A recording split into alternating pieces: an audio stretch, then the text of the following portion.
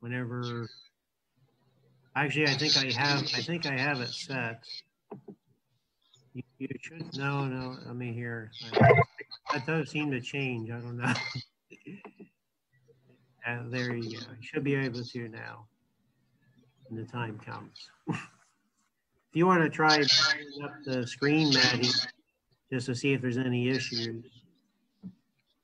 Okay.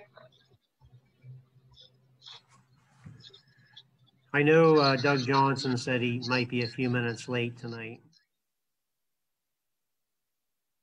for the this part. No, I'm going to reiterate, but next meeting I will not be attending. I'll try and remember that.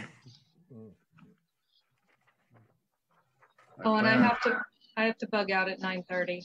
That's right, too. Yes. uh, Mike. And I, I plan on being somewhere where there's no cell phone service and no internet. Sounds nice. Marion Township. Hi, Dan- Randy. No, actually Porter, Indiana. hey, hey, Doug.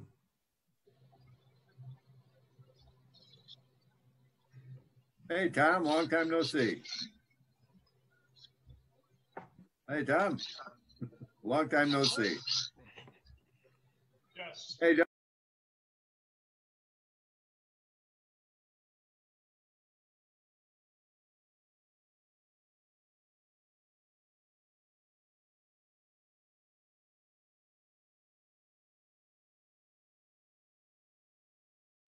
Okay, uh, should we get started or, Pro- Probably his time's pretty tight. I mean, if you think you need 45 minutes, you probably should. okay. So Maddie, do you want to get started? Okay. Here's Gina. Let me see. So she says she'll be a few minutes late.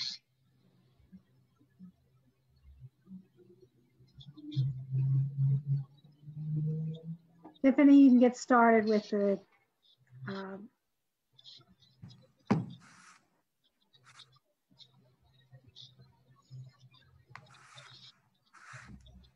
Okay, can everyone see the presentation? Yes, Yes. Yep.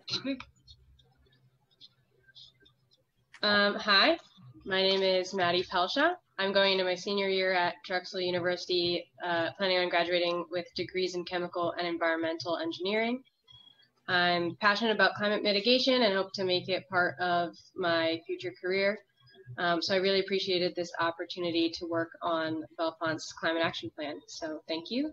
Um, so going through what I'm going to be talking about today. Well, so this is a presentation from our, our when Joanne and I presented to the climate committee, the Pennsylvania Climate Action Committee. Um, so Joanne, are you still going to go through a background of Bellefonte? uh, we, it'll, it'll be a little bit shorter, but yeah, because I think everyone here knows what, about that. Yeah. Okay, so we'll still still hear from Joanne first. Um, so I'll go through the greenhouse gas inventory that I did last fall, talk about our task force, the creation of our task force, um, how we got community involvement, um, the vulnerability assessment that we did, and how we came up with the emissions reduction strategies. Uh, so take it away, Joanne. Okay, so as you, uh, first of all, before I actually get started, I wanted to thank uh, Maddie for all the work she did. This project started in July of last year, and at that time, uh, she was, we were one of 20 communities that were selected for this climate action plan program. Uh, Maddie has been with us since the beginning. Some of the other communities, including State College, had two and sometimes three different uh, interns having had her for the entire time made for a continuity and great planning for that. And the report that she uh, sent that I'll show a little bit after we do this presentation uh, is fantastic. I want just to publicly acknowledge that. So as you can see, we're incorporated in 1795. We're the home of seven governors and has a, a fun sort of thing. I found out recently that we're the birthplace of Jonathan Frakes, AKA Commander Riker. Uh, as we all know, we're the uh, known for our big spring, railroading, iron industry, historic architecture, and kayaking and fly fishing. We're one of the smaller uh, communities in the state that is part of this program, uh, which in some ways makes it easier, in some ways makes it a little harder to do the mitigation. So next slide. So I wanted to show people at the state level, uh, both our commercial and our residential areas. So I took a picture of uh, High Street with the uh, 2020 census up and then took the uh, an old picture of uh, Curtin Street to show some of the residential areas.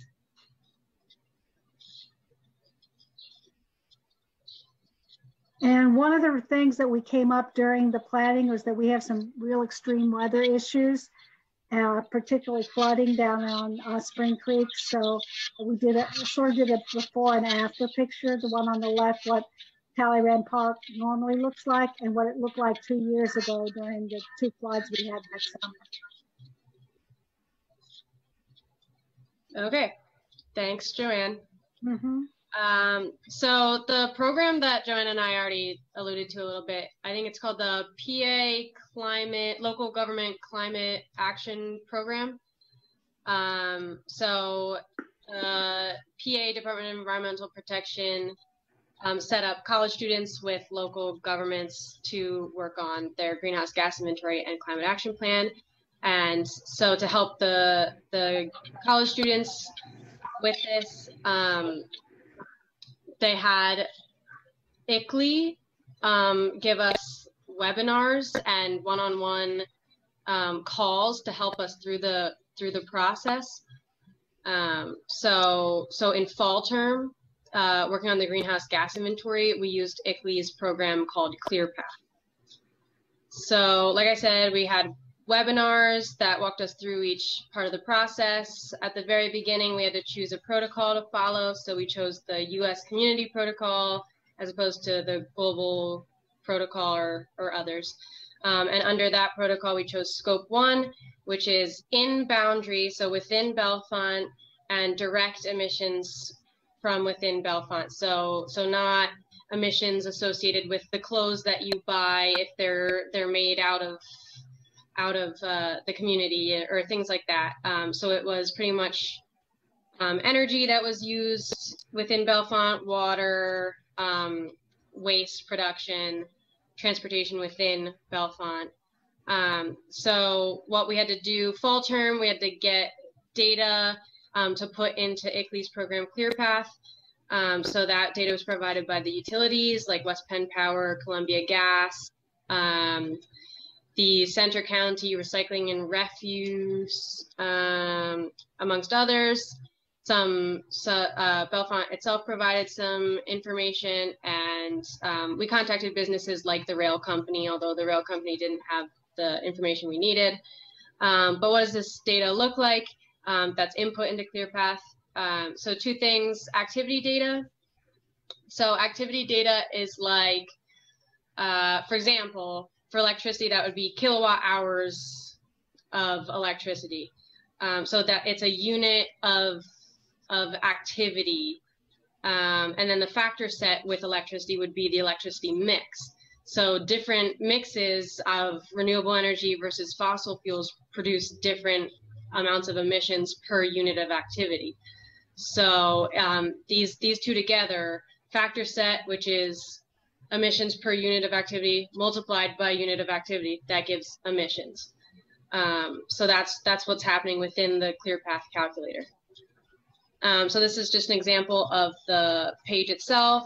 So we input information for residential, commercial, and industrial energy, transportation, solid waste, water, and fugitive emissions. Um, for those that don't know, fugitive emissions um, in our case were um, the emissions associated with leakages from natural gas distribution. So that kind of tied into the energy sector as well. Um, but this is on the residential energy page. Um, here are a few examples of calculators um, within ClearPath um, that can be used to calculate emissions per activity. under each sector. So within residential, I had I input into the natural gas, electricity, and heating fuel calculators. So if you go into them, they're actually really simple, at least for, for this one. So this is the natural gas example. So fuel use in therms was input. That was directly provided by Columbia Gas. So that was a really easy one. Um, and we also input the quality of data. So since this was uh, an exactly measured usage, that's really high quality data. And keeping track of that just gives us an idea of the uncertainty of the results. Uh, okay, so speaking of results, this is what ClearPath um, output uh, from all the emissions data. Um, so the main sectors that we have to focus on uh, it, within Bellefonte are residential and commercial energy and transportation. Um, and actually transportation is under underrepresented um, since we did scope one, so that's only in boundary. So that doesn't even take into consideration commutes outside of Bellefonte. Um, and I know um, from census data that there's a lot of commuting outside of outside of the borough. So that's actually underrepresented. Um, but again, those are the top three sectors to focus our actions on. So those are the highest emitting sectors. Uh, that was the end of fall term. So spring term, we kept going with the webinars led by ICLEI, and they advised us to form a task group, task force within the our communities. Um, so uh, we started getting ready to write the plan. We formed the task force with local and county government representatives, myself, um, concerned residents and business owners. So this is just our list of task force members. And we held regular meetings. Uh, we discussed planning, um, and that was really helpful for me because I could come in and say, well, we could put in more bike lanes. And then someone who lives here would say, well, it's really hilly here, so they better be electric bikes. Um, and that's just information that I wouldn't know. Um, I'm trying to think of another example, but yeah, it was really helpful for for residents to to have input into the plan um, and not just have this outside college student do it.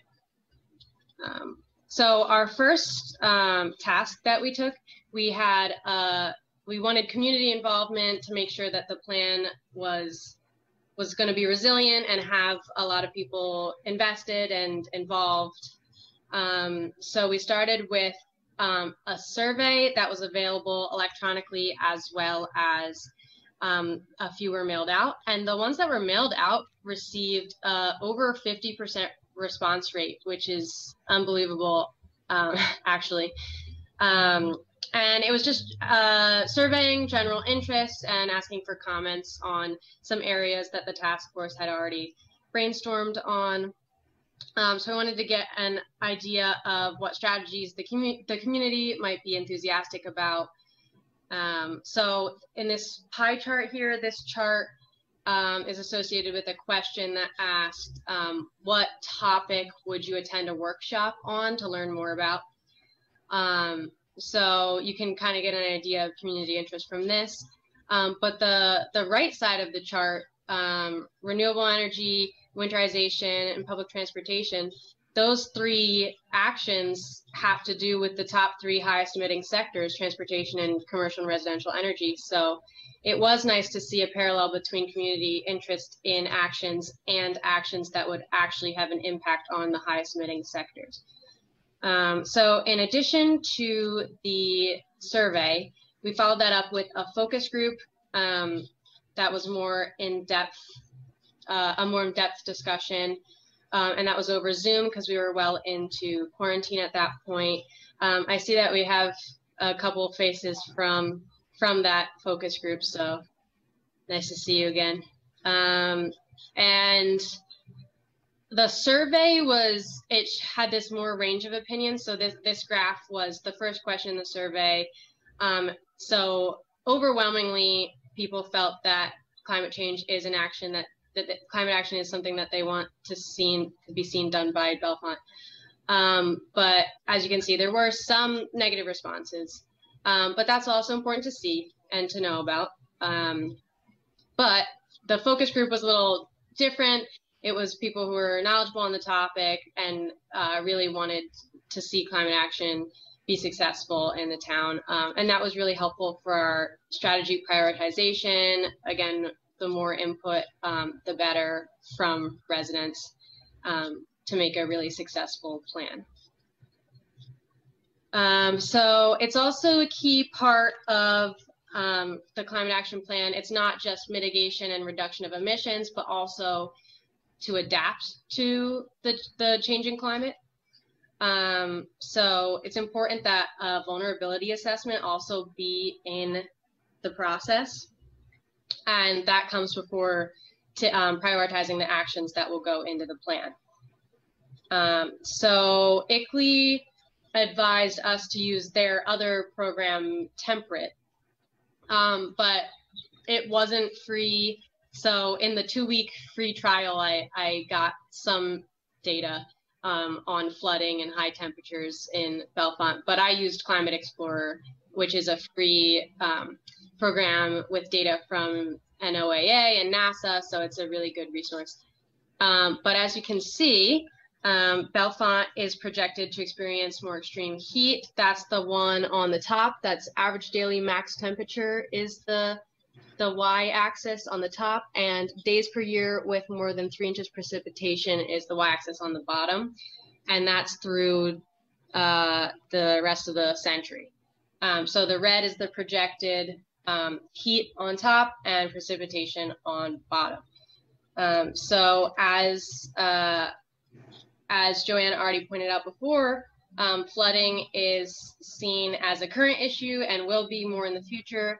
Um, so when we surveyed the community, they also agreed that there was a need for stormwater management. So um, sort of stormwater infrastructure in public spaces um, should be put into the plan as well as educational resources for residents to put on their own property. Um, yeah, and hopefully that will reduce damage of future flooding. Um, so finally, it was time to come up with uh, reduction strategies that would go into the plan. Um, so ICLEI re recommended that we set targets and goals before before coming up with the actual um, the actual programs and policies that would go into the plan. So they recommended that we use the same targets as the state plan. That's an 80% reduction of 2005 level emissions by 2050. So since this was the 2017 data was used for this first greenhouse gas inventory, we don't really have 2005 emissions unless you extrapolate backwards. Um, but yeah, so we have that, and that's a really uh, ambitious goal. Um, but it's something that well, to be honest, the state plan doesn't even achieve it. They they still have a section called um, additional action required. Um, but but ICLEI recommended this ambitious goal for us as well.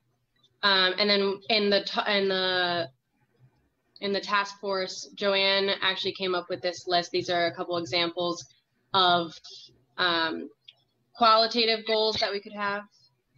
Um, so as you can see, like increased electric vehicle charging, um, renewable energy, transition away from heating fuels. Um, so over time through 2050, those are a couple markers that we could could uh, strive for. Um, ClearPath also has forecasting and planning tools. So to get the forecasting tool, um, so in, in the forecasting tool, um, I input the um, projected population growth rate.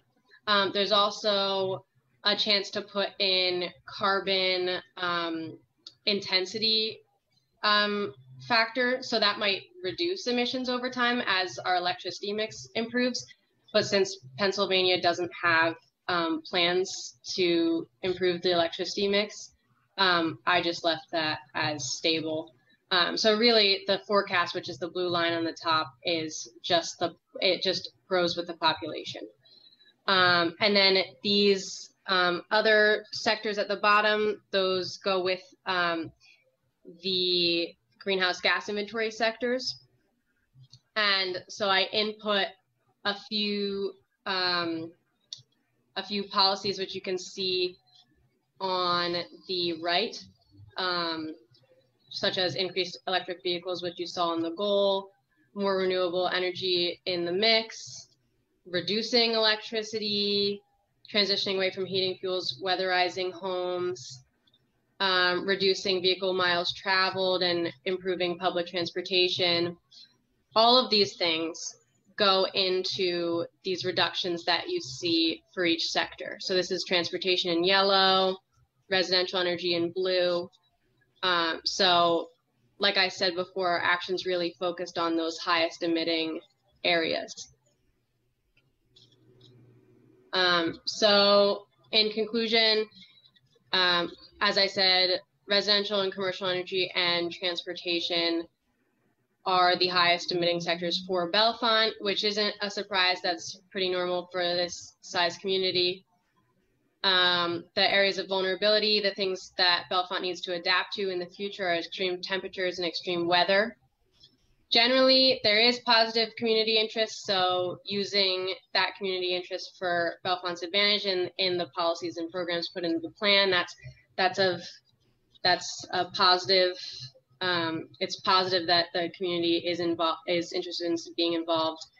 And um, so these ClearPath and the temperate uh, climate explorer all these tools were really important for building an evidence-based plan so it's not just a plan that says ah, we're going to put these actions together and hope hope it reduces our emissions it's really something that you can refer back to um, in the future as a kind of iterative process and look back and say, well, our emissions were this back then, and have we have we met our goals? Um, so those tools are really important for making those informed decisions. Um, so yeah, thank you again for this opportunity. Um, I it was a great learning experience for me, and I hope that the the plan uh, moves forward. So just to update before she closes the screen, these inventory and planning tools that she's talking about at our presentation before the Climate Advisory Committee for the Department of Environmental Protection, we were told that we will have free access to these tools through the end of the year and possibly beyond that. We don't know how long, but that there will be, once we have to start paying for it, there will be a reduced cost because we were part of this original um, climate action plan program. So if we can switch, allow me to share my screen, I'll show a little bit of the uh, climate action plan itself.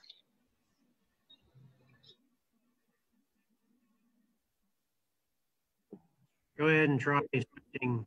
Okay. Uh,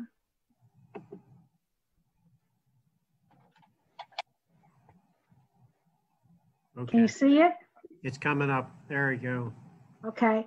Uh, there, the, the, the, report is probably 50 some odd pages long. Um, there are two important parts in here that I think uh, you as council members need to be looking at.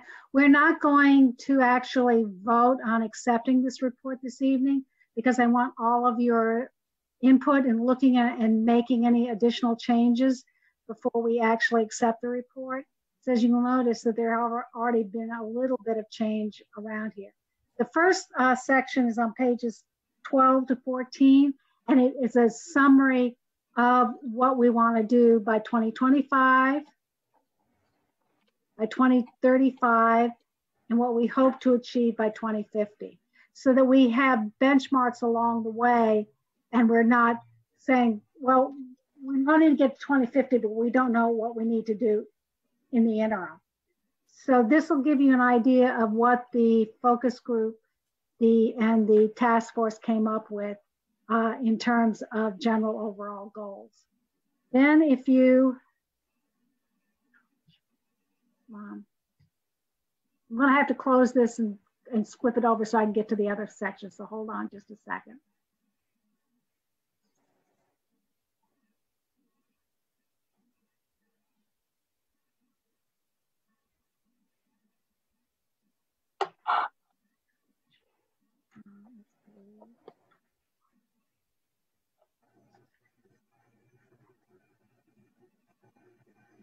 Back.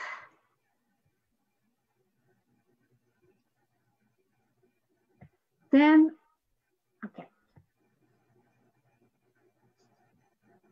So then down from pages 25 to the end of the document, what we've got there is actually details for each of those different summarized goals that were presented up above. And there's a,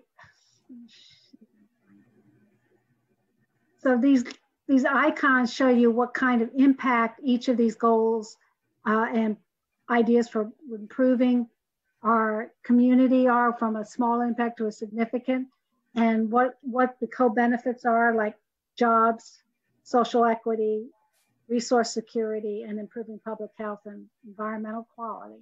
So here you see that this uh, retrofit existing commercial and municipal has a high impact and it affects all three areas.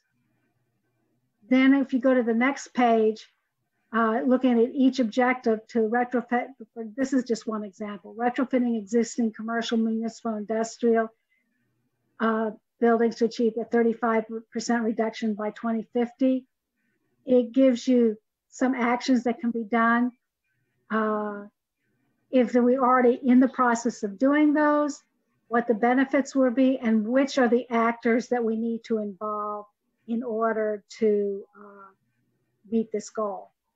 What you see here is some editing that we've already done uh, to say that we need, for this particular case, we need public works to be involved because this is a uh, municipal issue uh, and some, and what we, I'd like all of you to do is over the next two weeks is to look look this and each of these uh, objectives up and add your input as to what other lead actors you think might be uh, needed, necessary to uh, implement this uh, this plan over the next 30 years.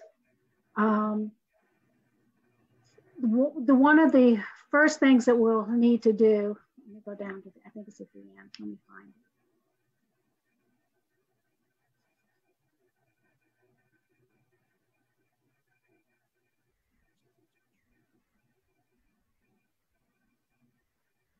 So uh, once we accept the plan, this month and year will be input to say when we will actually start working on it.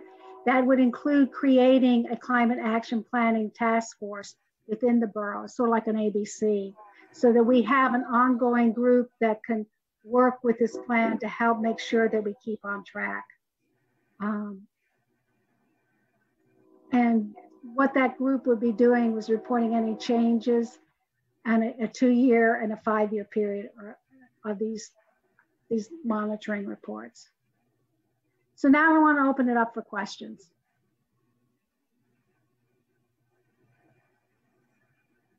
We have 15 minutes. Uh, Dry how's this, Randy? Uh, since nobody else volunteering, I'll, I'll jump in. Uh, a lot of work went into this. I'm, I'm not familiar with all of it, some of it I felt like I, I've seen it for the first time. I am curious though as to cost, cost to the borough, cost to the residents, cost to the utilities, cost to the rental owners yeah. uh, who own the buildings. Uh, and I'm wondering what, you know, where the numbers started. I, I didn't see that information. If, if we're working off of 2015, I think was the latest review that was done the the well, the, don't need an answer. I'm just yeah. Uh, that's part of what we need to do once we, we accept the report to find out where the costs are. Uh, some of the things like I know this afternoon we got a uh, thing from the county about uh, a climate action. I don't remember what they called it, but there would be funding available through the county to help implement some of this. There's also, will be under the governor's uh, uh, uh, climate action plan, there's funding available. We've already received actually some of the funding when we put in the electric charging stations. Uh, so the other parts of it may be uh, community input. Uh, some of it will be volunteer. At this point, we just looked at the basic plan and we need to look at going forward, what, what costs the borough, what costs the individuals this. In terms of the residential, that's all voluntary. And through education, we may be able to get more and more of the community, whether it's rent homeowners or uh, landlords to make some of the changes in the residential area so that over time we can help improve this. It's, it, the plan isn't mandated, it's voluntary with community support and input, I guess is the best way to say. Right, and that, that was my other thought was that being landlocked and very few new, new buildings going up, very few new homes going up, uh, you know, how that stretches out to two, 2050, uh, as far as our, our, the impact that we have as, as, as what we call growing. So Yeah. ba- basically, we tried to take that into account when we made this plan. We knew that we were landlocked and there were a lot of things that other communities can do because they have more space and more land we can't do. So that was taken into account. Right, and that- and that's the other thing I think, I don't know, maybe myself or, or there may be others out there that when you, when you try to group a community like Bellefonte, what happens around Benner or Spring? They're the ones that are having the industrial areas built. Bellefonte has very little industrial, if any, in Bellefonte. Everything is on, around Bellefonte. Manny, do you want to answer that? Because you had a lot of conversations with ICLEI about that in town, inbound and out of bound programming.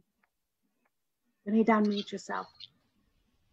Yeah, so, um, well, yeah, you're right that, uh, industrial energy, that was one of your lowest sectors for the in, in boundary emissions. Um, sorry, I, I'm a little confused what the question is, to be honest. I'm just wondering where the, where the numbers come from. And, and, you know, with, we used to have industry in Bellefonte, but we don't anymore. And how much, how much did we drop with the gases when like Zero closed or Water Company closed and, those, those factories and plants weren't operating anymore? Do they show up in this at all? They, those emissions don't show up in this report because we limited it to scope one, which is only inbound within the borough. If Okay, you'd gone to scope two, we could have looked beyond the boundaries. But we're still gonna use the same percentages as the state. So if their goal is eighty percent, Bellefonte's is eighty percent. Yes, Is that what we're saying? yeah, Mm, with Right. what we can control. And it's eighty percent of what we can control.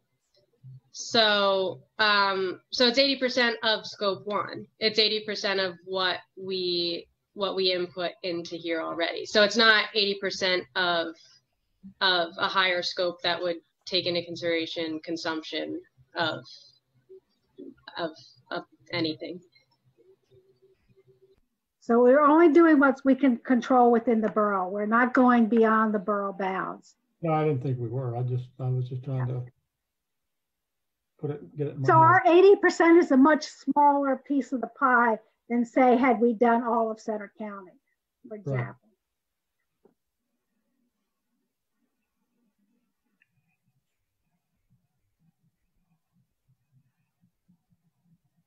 Other questions? I, I have a question. Go ahead, Doug. How, how closely did you work with the school district or the county? And We had, we invited, the county was involved in the task force from the beginning. one person? we contacted the planning office and asked them who they wanted to uh, participate, and they gave us their director, who has the most largest oversight for the county in terms of planning. The school board we invited, but they decided not to participate. Any reason why? I don't know. Um, and I see some of the goals is EV vehicles, and the county has probably 150 vehicles in their transportation system. Uh-huh. What I would think they would be a good candidate to to have involved in this program. Oh, I agree. Well, what happened with that? We're, I'm not sure what your question, what your, your, I would Yeah. I would reach out to the county and see if they're interested in in joining with with with this other person who has who has been appointed by the county. Um, I think that's a very good idea. Okay. The other Well, Brian- it was thirty was it 50 years from now? We don't know what the administration is going to be in the county so i don't know how we can count on support dollars 50 years from now. Uh, that's just a comment i have. We current administration we know and hopefully know what to expect but three years from now it could completely change and go the opposite way. That's, that's politics, So That, that would fall into what you can control. right?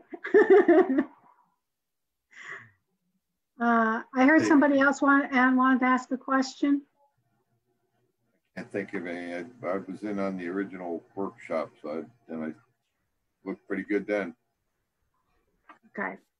Uh, Joanne, I'll ask a question. How, considering the goals that are Uh-huh. being considered here, how is HARB going to take this and factor all of these, let, let's use the made up word desirements into what they will allow people to do with a house in the HARB district. Okay, uh, I think we can already partially answer that because when we created the solar panel ordinance, we worked with HARB and we created an ordinance that allows solar energy within the historic district. We can Well, do I the same. We can do the same thing with uh, other issues. And as technology improves, so for example, the ordinance, the, the solar panel ordinance, solar energy ordinance says that, that the panels need to blend in on the main uh, front of, of each building. There are more and more technology now that would actually have solar panels that look like shingles that could be put on and you couldn't tell the difference between that and what a, a shingle would be on the house. And so they would be perfectly fine to go ahead with that. So we've got, in that particular ordinance, we were planning to do, work on that. There will be, what other ones come up, we'll have to work with that down the road. Well, I was specifically thinking about, you know, you you you want to have electricity, which means I probably have to put my heat pump somewhere Uh-huh, on the property. In the yeah, back, in the back. Is that okay? Is that the plan? That's, As long- as long as That's you allowed, see oh, so just for example, I just went through HARB uh, last month and uh, Ralph can um, re- confirm this. Through an administrative approval, I'm going to be allowed to put solar panel batteries on the back of the house uh, to allow that improved renewable energy. So your heat pump example would be the same sort of um, uh, administrative approval in most Mhm. cases. Okay. I'm just I'm just I'm just asking the question because I'm uh, if you um, Somebody will ask you. Sometimes you have to put the heat pumps where you need to get the in-house units located. So you can't just put it randomly anywhere on the property. It more or less has to be where it needs to be to feed Yeah, the and, uh, air handler units.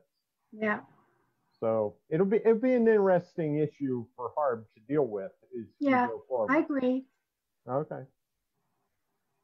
Well, It's, it's the same, same as, uh, like I saw in there where the, the goal is to have most residential homes, uh, going electric. I assume that was electric heat or electric cooling, whatever, but using more electric and my question came to my mind there was, well, will the infrastructure handle that much additional output if their infrastructure is not built up to accept it? You know, how much how much time do we need to give West Penn Power to improve their distribution in order to add more load to it?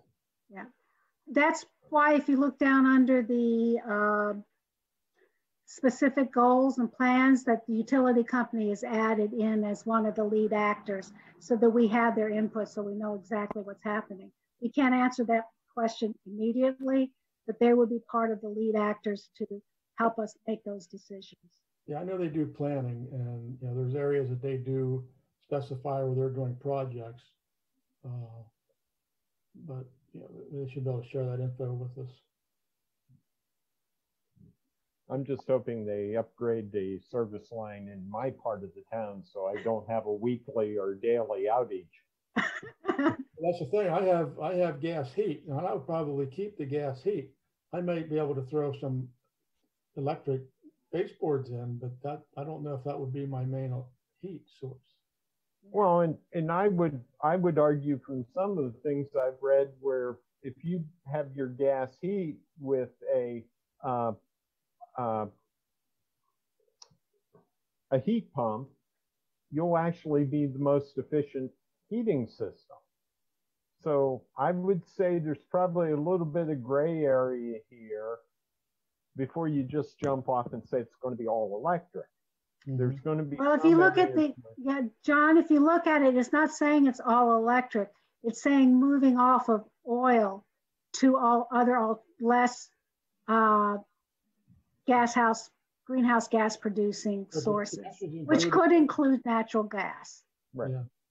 Yeah. I'm just saying, Randy, Rand, where Randy's going is exactly, you know, that that's where I've been thinking I'm going for several years is when my furnace dies, it gets replaced with one of these high efficiency systems. And you don't see that in the study. So that what, that's me. why we're asking you to look through this. And if you see something that you think needs to be added, please do so, because I don't want this to be accepted before we have full input and know what the community really wants. Yeah, maybe Yeah. another good idea for this committee would be getting some some of these trades involved that uh, do these installations, whether it's heating, cooling, you know, uh, electric services. Most most residents in Mhm. Bellefonte probably have no more than 100 amp entrance, which is what I have. Uh, and for me to do any more, I have you know I have to up that. In fact, I think anytime you you add a an entrance to your home now or building one, you're you're looking at 200 amps, maybe 150 minimum. So I do have a question for all of you. We have like three more minutes. Uh, do you want this, your reviews and comments to go to the Environment and Sustainability Committee for one final review before we bring it back to council after you, you make your edits? So we can, we can do that during the session this evening. And then hold off the actual vote until the second meeting in August. Well, I, I would like to see us re- review it ourselves, whatever whatever options or Yeah, Thank that's, I said that, what that was what I was trying to say. You all review it first, send it to Mike as chair of the Environment and Sustainability.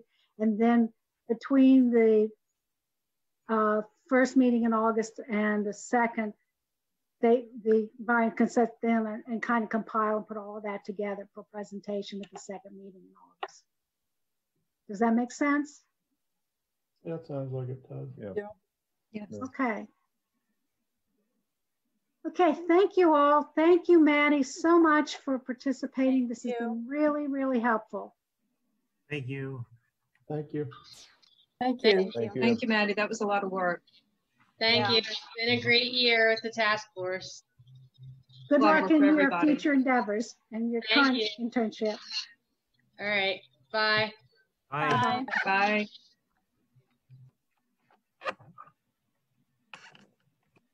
So we have one minute and then we'll get started. I will be right back.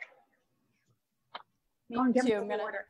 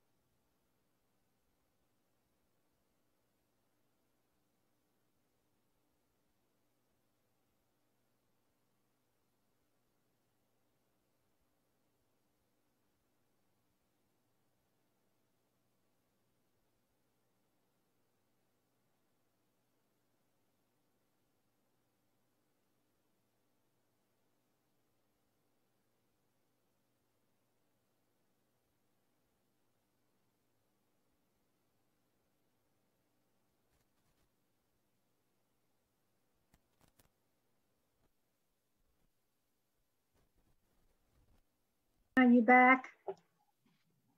Yeah, I'm here. Okay. Okay, so it looks like we can get started. Uh, um, Welcome you all to the uh, July 20th Bellefonte Borough Virtual uh, Council Meeting. Uh, We'd like to uh, call to order, pledge of allegiance, a moment of silence. And the uh, flag is on Ralph's Square.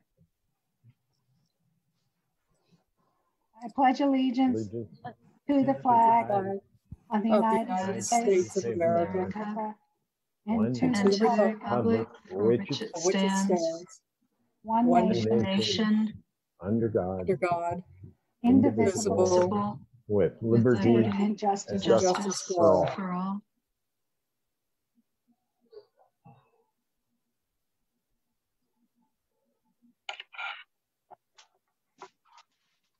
There's my gavel. Okay. Oh, oh I- Do I Roll have call, please. Miss Tosti Vasey, I'm here. Miss Walker, I'm here. Mr. Brackbill? I'm here. Thank you. Miss Cleaton, Here. Mr. Eaton, I'm here. Miss Homboski, President. Mr. Johnson, President, Mr. Prendergast. I'm here. I don't know Miss what happened. Thompson. Okay. Miss Thompson, Present. Mayor Wilson. I'm here, but I can't see myself. Okay. All right, we see you're looking good. We can see you. Um, All votes that uh, that are taken this evening will be recorded as unanimous unless we hear an audible opposition. That way we won't spend a lot of time going through a roll call vote each time. Uh, Motion to approve minutes? So moved, Brackbill. I'll second. Prendergast. Thank you. Any changes? Hearing none, all in favor? Aye. Aye. Aye. All opposed? Okay. Consent agenda, we have nothing. Hallelujah. Uh, Moving on to communications. Ralph, do you want to start off? Okay. There's a few items. I'll try to be brief. Uh, the first one is just a flyer on land use webinars coming up for later this summer, early fall. The flyer is there for your information. If you're interested in anything, contact me or Kathy in the office and we'll, we'll get you situated. Next item is a request from the Bellefonte School District in regard to having cross-country practices and meets out at Governor's Park. They would start in August and go through November 1st. The various dates are in the letter in your packet, looking for approval. Of course, they, Mhm. they reference the COVID-19 precautions and all that. I'd like to refer this to Parks and Rec so we can meet with them between now and the next meeting, so we can have the same conversation that we've had with all of the other groups that requesting uh, space at Governor's Park.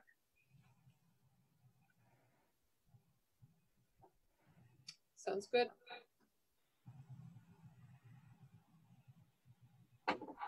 Next, Okay, thank you. The uh, next one is a letter from the YMCA. They would also, or they'd like to hold a triathlon sort of based in Governor's Park near the pool. It's scheduled for August 15th. It would use adjacent roadways next to Governor's Park, going in and going out. Again, the map and the fine details are in, in your packet. this is something for next year. The letter actually said June 15th, 2020. I think they meant 2021. I think down the bottom, the second letter below that had that 2021 date. Okay, I'd like to refer this one to uh, the streets for their consideration and recommendation as well. Okay. Next uh, letter, next item's a letter from Downtown Bellefonte Incorporated. Uh, They're canceling the, the traditional or formal Bellefonte Under the Lights or uh, event. Takes place in September, but there's a number of events or a number of uh, requests that they're making in their letter. And I don't know if Ellen, Ellen may be on the call. Uh, Let me just try to summarize what they're requesting. Use of Talleyrand Park for two weekends monthly on Fridays and Saturdays to create an outdoor dining space in the Bellefonte area. Uh, the, the area specifically would be the grassy area in front of the gazebo all the way to High Street or near the bridge. There's a plan that they submitted and you should have a copy of it.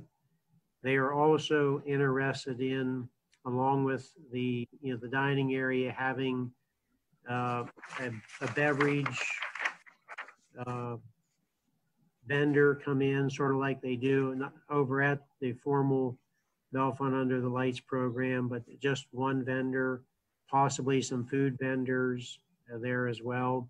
There's a whole list of activities or uh, that would go along with the event, the social distancing. The dates are in the proposed uh, letter, July 31st, August 1st, August 14th, 15th, August 28th and 9th, and so on. September, there's two weekends they would be looking at. And then they also are interested in permanently installing lights in the area where the Under the Lights program is held or has been held the last couple of years. Uh, I believe that's the gist of the letter and, and the request if you're interested. I'd like to move this into two, two separate issues. The permanent lighting, I would like to have that go to Parks and Rec because that was not discussed at the Parks and Rec meeting last week. So we can have a further discussion, figure out how we can make that happen easily for everybody. The rest of it, we did meet last week and um, I think we could move ahead for a motion on that. Uh, Gina, do you wanna talk about that or does uh, Melissa, since you were at that meeting last week? Ellen, Ellen's, Ellen's here. I think um, Yep. she can jump in. Oh, okay, I didn't see you. Sorry, go ahead, Ellen. No problem. Um, so I'm actually, uh, we're not planning to permanently install those lights down on the waterfront this year. Um, we're hoping to do the regular temporary installation this year in September, like we normally would, um, and hopefully make that a fundraiser to um, secure the funding we need for the permanent installation um, for hopefully next year. Okay, so we can meet with the committee and do some planning for that. Sure. Yep. Okay. So we need a motion. Do you, what I'll do is uh, we'll do the motion and then Ellen can have, make any comments and then we could have open for discussion and have a final decision. So the motion is to, I need someone to conditionally approve the mini under the lights events on July 31st, August 1st, August 14th to 15th, and- and 28th to 29th, September 18th to 19th, and 25th to 26th, with the possibility of October 16th, 17th, and the 30th, 31st, if the prior events are successful, following all masking, social distancing, sanitizing, table setup has agreed to with the Parks and Rec Committee, alcohol sales with only one alcohol distributor at a- an event, and uh, conditional approval is also dependent on designating Bellefonte in the liability insurance policy. I'll make that motion if I don't have to repeat all that.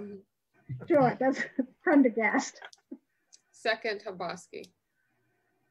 Okay. Um, Ellen, do you have anything else to say? Yeah, I did just want to add that. Um, uh, so we we did put this proposal and took it to our board last Monday, um, and then obviously the governor made some new restrictions on Thursday. So we don't feel that we can hold this event as proposed um, under the new restrictions. However, we are asking for this approval still, so that if we were to get a green light um, from the governor, we can still go ahead and hold it. Okay. Sounds So like- would you be uh, notifying us on a monthly basis to whether that particular set of events will be being held or not, so we can let the public know?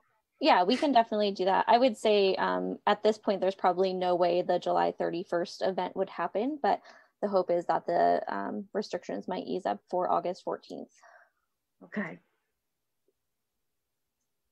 Oh, Ellen, would these, uh, would this be a ticketed event? It would not be, no. So we would have only one entrance that would allow us to make sure that, um, well, we're not going to let it get even close to 250 people, but to ensure that 250 people don't end up in the space. Um, but other than that, it will not be ticketed. So how are the uh, craft beverages being monitored? Um, it'll be up to that beverage dispenser. So, um, you know, they have their own license and um, they're kind of in control of the alcohol situation down there. That's why we're only allowing one um, because DBI can't really manage that aspect of it. So, Um, so we'll we'll make sure the right people are getting in and out, and then it's up to the craft beverage producers to monitor their own sales. The only area, oh, go on, Randy. I I just wonder if they're going to be using bands and in, a, in, a, in an area just for the beverages. Yes, so the, uh, what we're asking for is the entire gazebo grass side, similar to what, um, the Summer Sounds utilizes, and then in there, there would just be a section that would be roped off for a craft beverage, so it would be highly controlled, like we do for Winter Market and, um, Under the Lights. Is that does that give enough space on that side for social distancing? Yes. Okay. It's lar- it, you don't think it when you're just thinking about it, but when you're down there, it's we think it's going to be quite large, and um, like we're not interested in having anywhere near the governor's max of people allowed in at one time. We're hoping that they cycle through. If people are down there, they cycle through quickly, so it's not like an all night hangout. Yeah, part of um, you know the the new restrictions from last week are is that you you have to be eating to be drinking a beverage. Um, so that in, kind of ensures that people aren't going to be hanging out. They're probably just going to grab one beverage and then leave.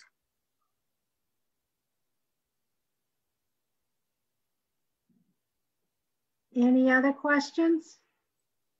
Well, when you say leave, so do we have a open container law? Well, they won't be leaving with the beverage. They'll be drinking it there. Oh, okay.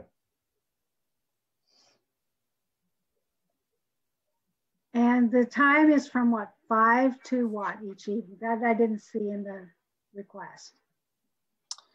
Oh, you know what? Um, I did miss that in my outline. Thank you. Um, I, I believe we were talking about um, 5 to 9.30, which would allow us to clean up by 10. Okay. And will you be cleaning the tables between each person? Yeah, so we're actually only going to have a very limited number of tables, um, probably 10. Um, and then, you know, just encourage people to, to stand or maybe bring a camp chair um, if they'd like to sit in another space. That makes it a little easier for us to clean between people.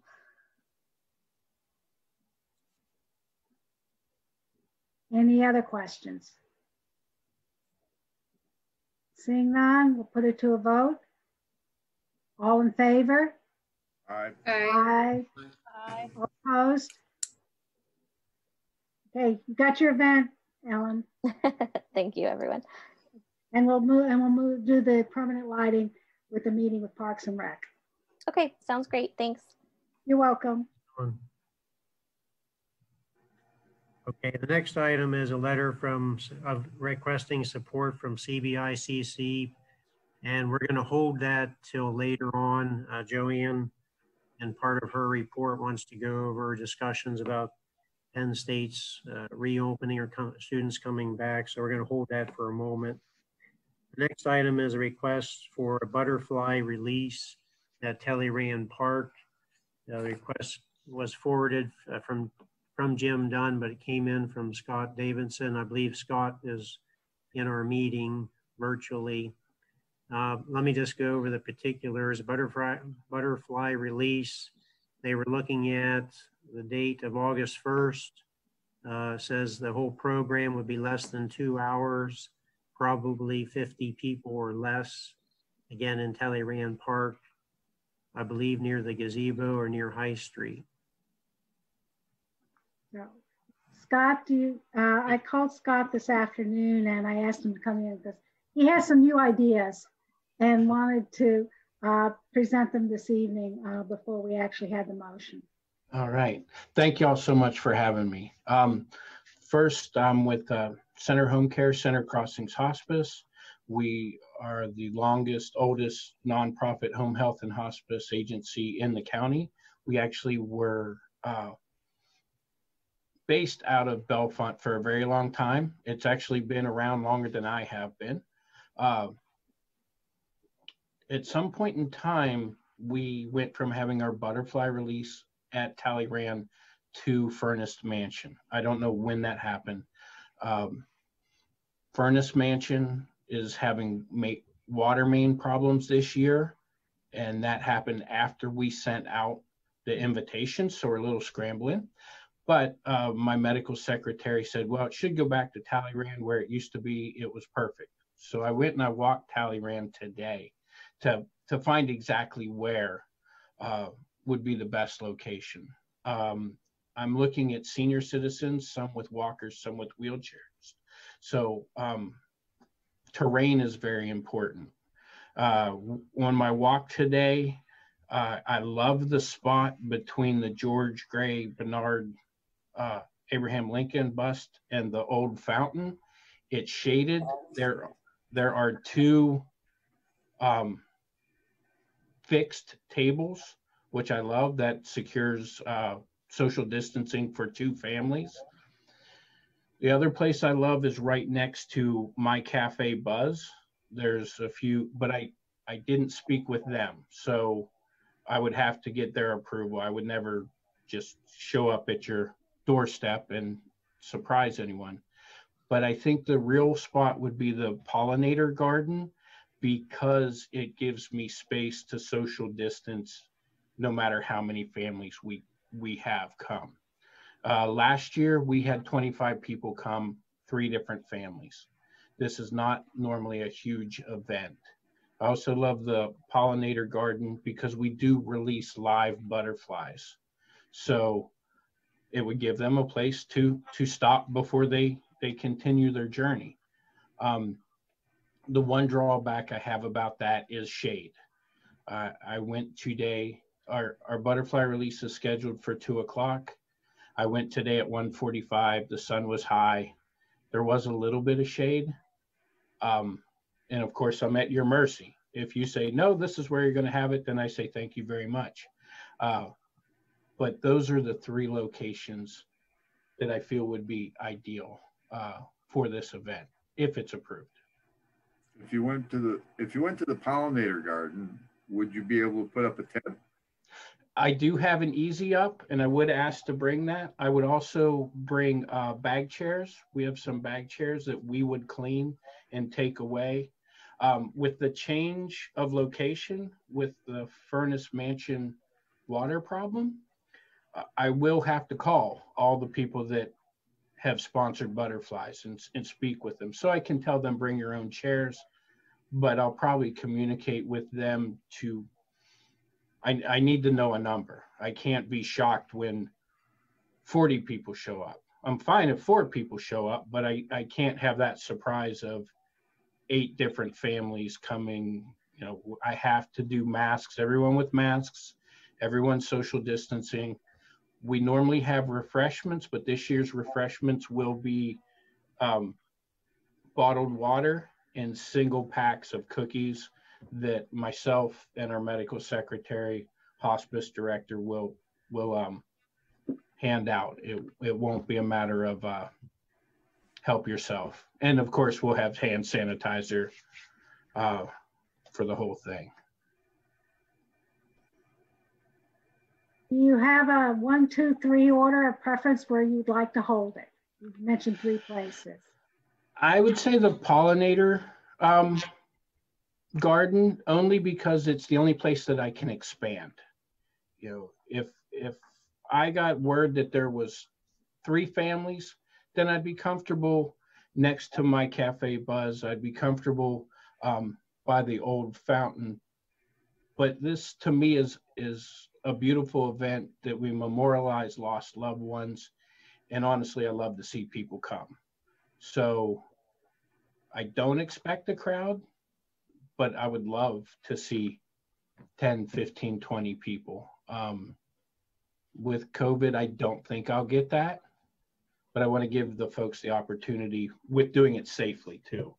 Uh, safety's number one above and beyond anything else. So just FYI for your future reference, that piece of space next to Cafe Buzz belongs to the borough. It's our, sm- it's the smallest park in the state. That belongs to us, not Cafe Buzz. Well, and and I saw the the um, bench with the plaque, so I said, "Haha, I'm pretty sure that's not theirs." It's not. But at the same time, to me, if I was them, heck, I would love a group of folks to come next to me and release butterflies. I mean, gosh, Ice cream. yeah, yeah. I mean, uh, bring the young ones and hey, let's get some ice cream. Or boy, it's it's 95 degrees out here. Where can I go to get cold? Right next door. Um, but I would also not want to step on anyone's toes. I would communicate them, and they're not open Mondays, so I couldn't even have had a chance to talk with them. Now, will these primarily be monarchs that you're releasing? Painted ladies, actually. Okay. Um, Huh. The painted ladies are a little bit more um, durable, as I understand it. And the monarchs, with their migration, uh, they're very specific with their migration. right. Right. That's why I was, yeah. So it- Okay, it's thank you. painted ladies. Okay. And that only took me 10 years to realize because I thought they were monarchs. And then finally speaking with the, the suppliers, they're like, no, no, they're painted ladies. And I said, okay, um, I don't know butterflies. So, They're fascinating. yeah. Okay, so what we would need is a motion to conditionally approve the butterfly release on August 1st at the pollinator garden from 2 to 3 p.m. with required masking for everyone, marking of the six-foot social distancing between family groups, and obviously limiting access to less than 250 people, which is our. I'll make the motion. Okay. And also, they will hand out refreshments. They will not be um, having people come up and stand in line. And Joanne, Yeah, if if they're say it's incredibly hot or something and they choose to go over to the to the other side of the park where they have some shade, are the we going sculpture to garden. yeah, are we going to make them if there's no reason they have to come back for No, they, no. Okay, good. So basically, kind of amend the motion to say that if too hot, can move over to the sculpture garden. Yeah. Certainly. Thank you. Thank you very much. And to be Yeah, wait a minute, wait a minute. Doug's got something to say. Could, uh, could we offer them some free parking um, by the Cafe Buzz? Maybe a couple spaces we could reserve for them for two hours? Um, Would that be doable? Uh, some Folks who may need some parking close by, could we bag the meters for a couple hours? Just suggesting it. Sure. Sure. I, I, There- The, the only problem with doing that, Doug, is if they're over at the pollinator garden and they have someone who uses a wheelchair or a walker, they're gonna have a real problem getting over to the pollinator garden. They would be. It's more likely that they'll park. Sorry. Yeah. You're right, Gina. They would be If they're gonna park, yeah, next to the pump house. Uh, Yeah. yeah. Uh, In that parking lot? by Yeah, the By the Big Spring pu- Pump House? yeah. Okay.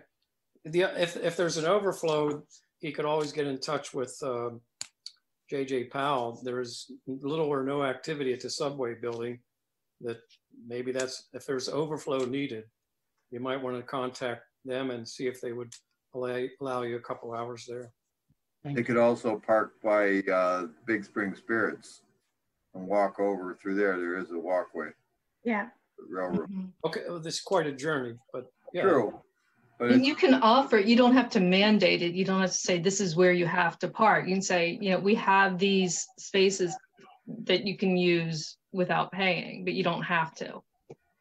Am I making sense? yes. Okay. Absolutely, yeah.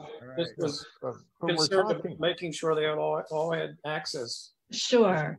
we're talking about a Saturday, right? Uh, yes. Oh, okay. So we don't charge for parking on Saturday, do we? Uh, we, we do have, we do have it posted, but you know, the enforcement officer is there just in the morning, so you're probably okay. Oh, okay. Okay. I didn't know we charged on Saturday morning. I'm sorry. Gotta read the meters. Okay, It's the problem with walking.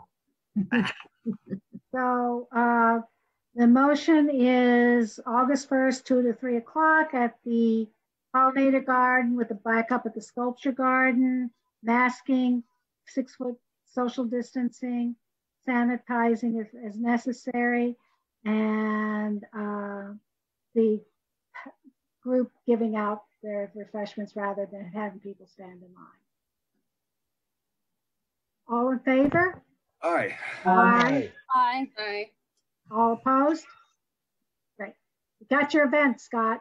I thank you all so much. I really do appreciate it.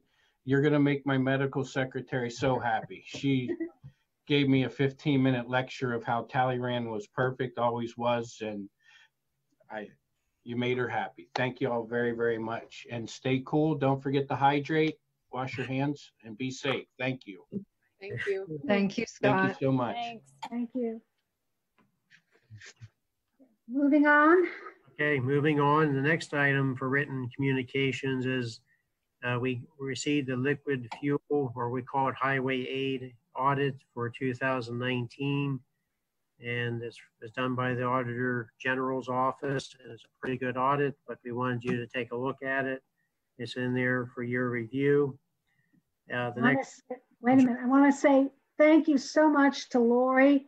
It Yes. was a, not only was it a good audit, it was a perfect audit. They found nothing wrong with this uh, part of our budget and the way it was handled. So thank you, Lori, for all the good work you did.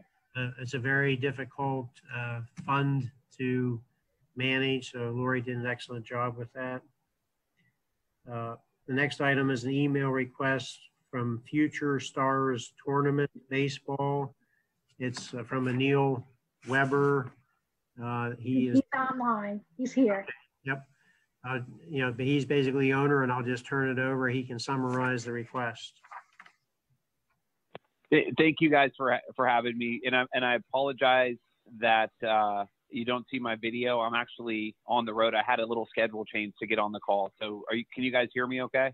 We can hear you. Yes. Okay, excellent. Thank you so much. So, my name is Neil Weber, and I am one of the owners of Future Stars Tournament Baseball. We are located in Hershey, Pennsylvania, um, not too far. We have, um, over the past six years, run a youth baseball tournament in the state college area, and we've actually used Governor Park for many, many years um, with the assistance of Joe Mena. Um, this year, our, our dates are August 1st and 2nd and we are requesting to um, rent the field on Saturday and Sunday, August 1st and 2nd. Um, I believe the tentatively it looks like it'll be the age group of 16 year olds, 16U. We typically play four games on Saturday and three games on Sunday. Our uh, games are not to exceed two hours in limit. Um, we've been able to run many tournaments down in the Hershey and, and Ocean City, Maryland area so far with coronavirus, uh, the, the COVID 19 situation. We started running our first tournament shortly after Father's Day with a lot of uh, procedures and precautions in place from signage to to spectators to hand sanitizing to umpires not umpiring behind catchers. I don't know how familiar you guys are with, baseball, but uh, umpires are now behind the pitcher's mound calling the balls and strikes so that they're not close to the catchers. Um, we have we have signage up, and it's it's been going very very well um, in our area down in in the uh, Harrisburg Hershey area. So our request would be to um, to see if we could use Governor Park on August 1st and 2nd. So, uh, yeah, I talked to Neil this afternoon.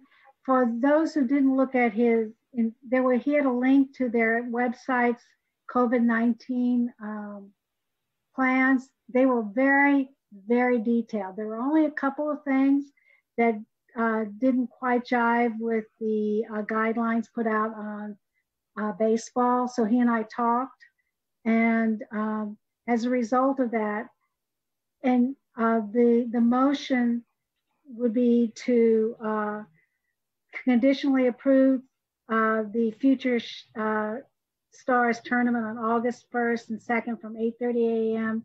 to 5 p.m. on both August 1st and 2nd with the following conditions. 15 to 20 minutes between each game. Only half of the team allowed in the dugout area, properly social distance with the other team member, members seated in chairs socially distanced behind the dugout.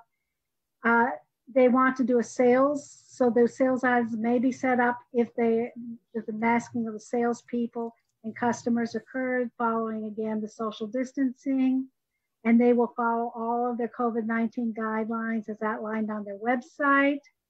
Uh, if equipment is borrowed from another en entity, which they are requesting, this equipment is to be sanitized before returning it to the owners. Uh, coordinating any games with other groups already scheduled, but I don't think there are any. Uh, payment of the daily, daily registration fee, and if needed, payment to repair the ball field which occurs, and finally designating Bellefonte Borough on the liability. Who would like to make that motion? So move Chomboski. Okay, I'll second. Bosky and Prendergast.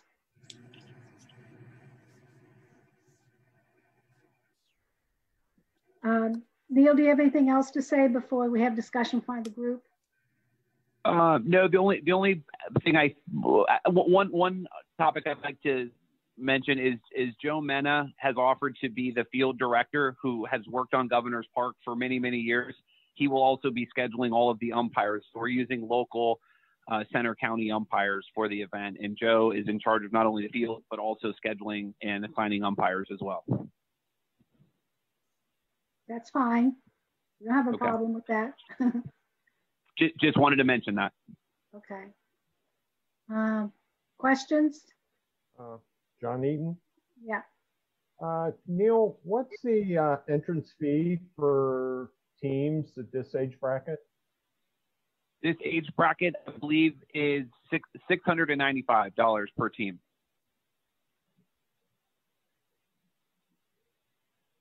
Okay, and we'll have eight teams on the first day and six teams Um, on the four- second.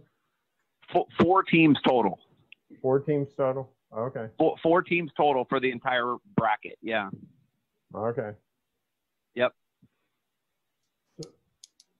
Do I assume that they'll have the uh, proper verbiage in there considering the COVID-19 and any changes that might occur uh, before August, if any? Uh, Hopefully it goes the other way rather than the way it's gone.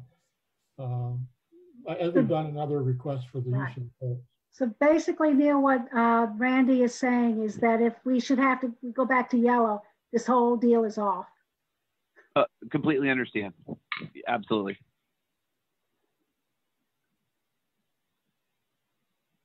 Johnson, in years past, how did we handle this? Uh, he said that we've had this for six years. I, I, this is the first I've heard of it. How did we handle it last year? My my knowledge as far as how future stars handled it, everything went through uh, Joe Mena as far as reserving the field, and um, we would I believe we just paid the, the rental fee to Joe. Um, I guess I don't know if it was the Bellefonte baseball group or or what was was pay, I don't know who took the uh, the entry fee, but Joe reached out to me and said this year um, there's some changes, and the, the borough will be the, the deciding factor as well as who you would pay for to rent the field. Didn't we have field rental in last year? Yes. Well, I didn't see it. No, we didn't. Uh, we Just, we just implemented it here a few months ago. Oh, okay. So where does that money go? It'll go into Parks and Rec's budget. Be in years past. We never received any funding from any, any uh, field usage in the past.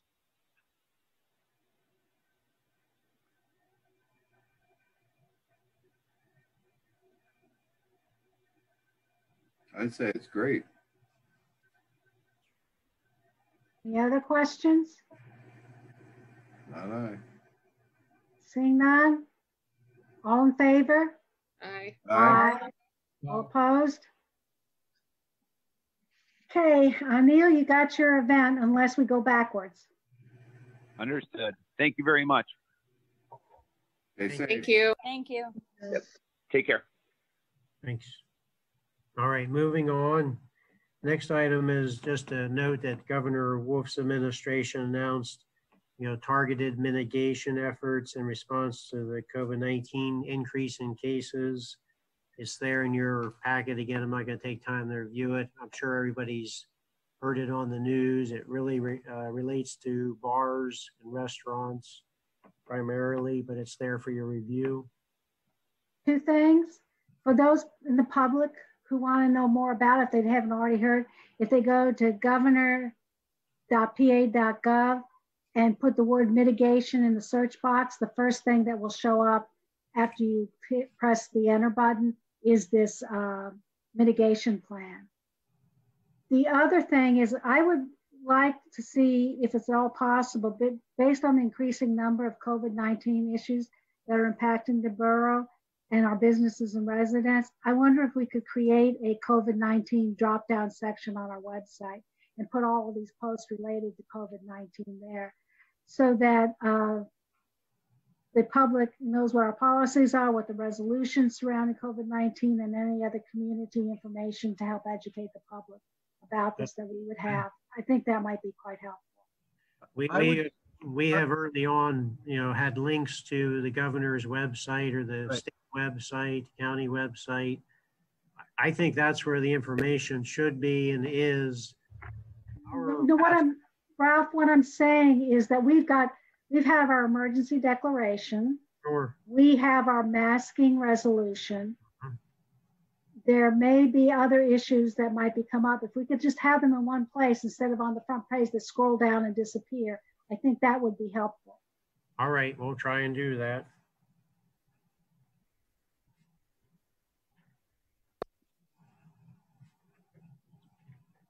Any other written communication? Yes, the one that I sent out today came in over the weekend It's from the Centre County Commissioners. And it was mentioned briefly in the work session. It's called the, well, the commissioners are basically, I'm summarizing, saying that they're going to pass a resolution on July 28th in regard to a, a state program called the Commercial Property Ass- Assessed Clean Energy Financing Program or C-PACE program.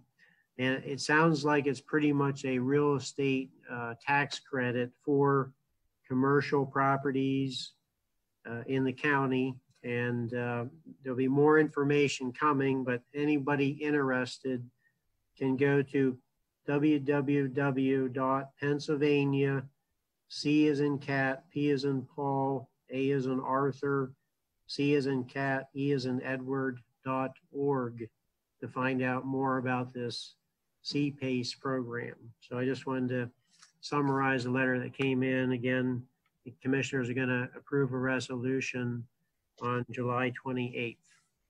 So just as a side, going back to our climate action plan, this kind of program and resolution that the county does could be considered as part of our climate action plan as it impacts our borough. So when you're looking at the uh, plan, if you want to include that where you think it's appropriate in the different uh, areas, that might be helpful.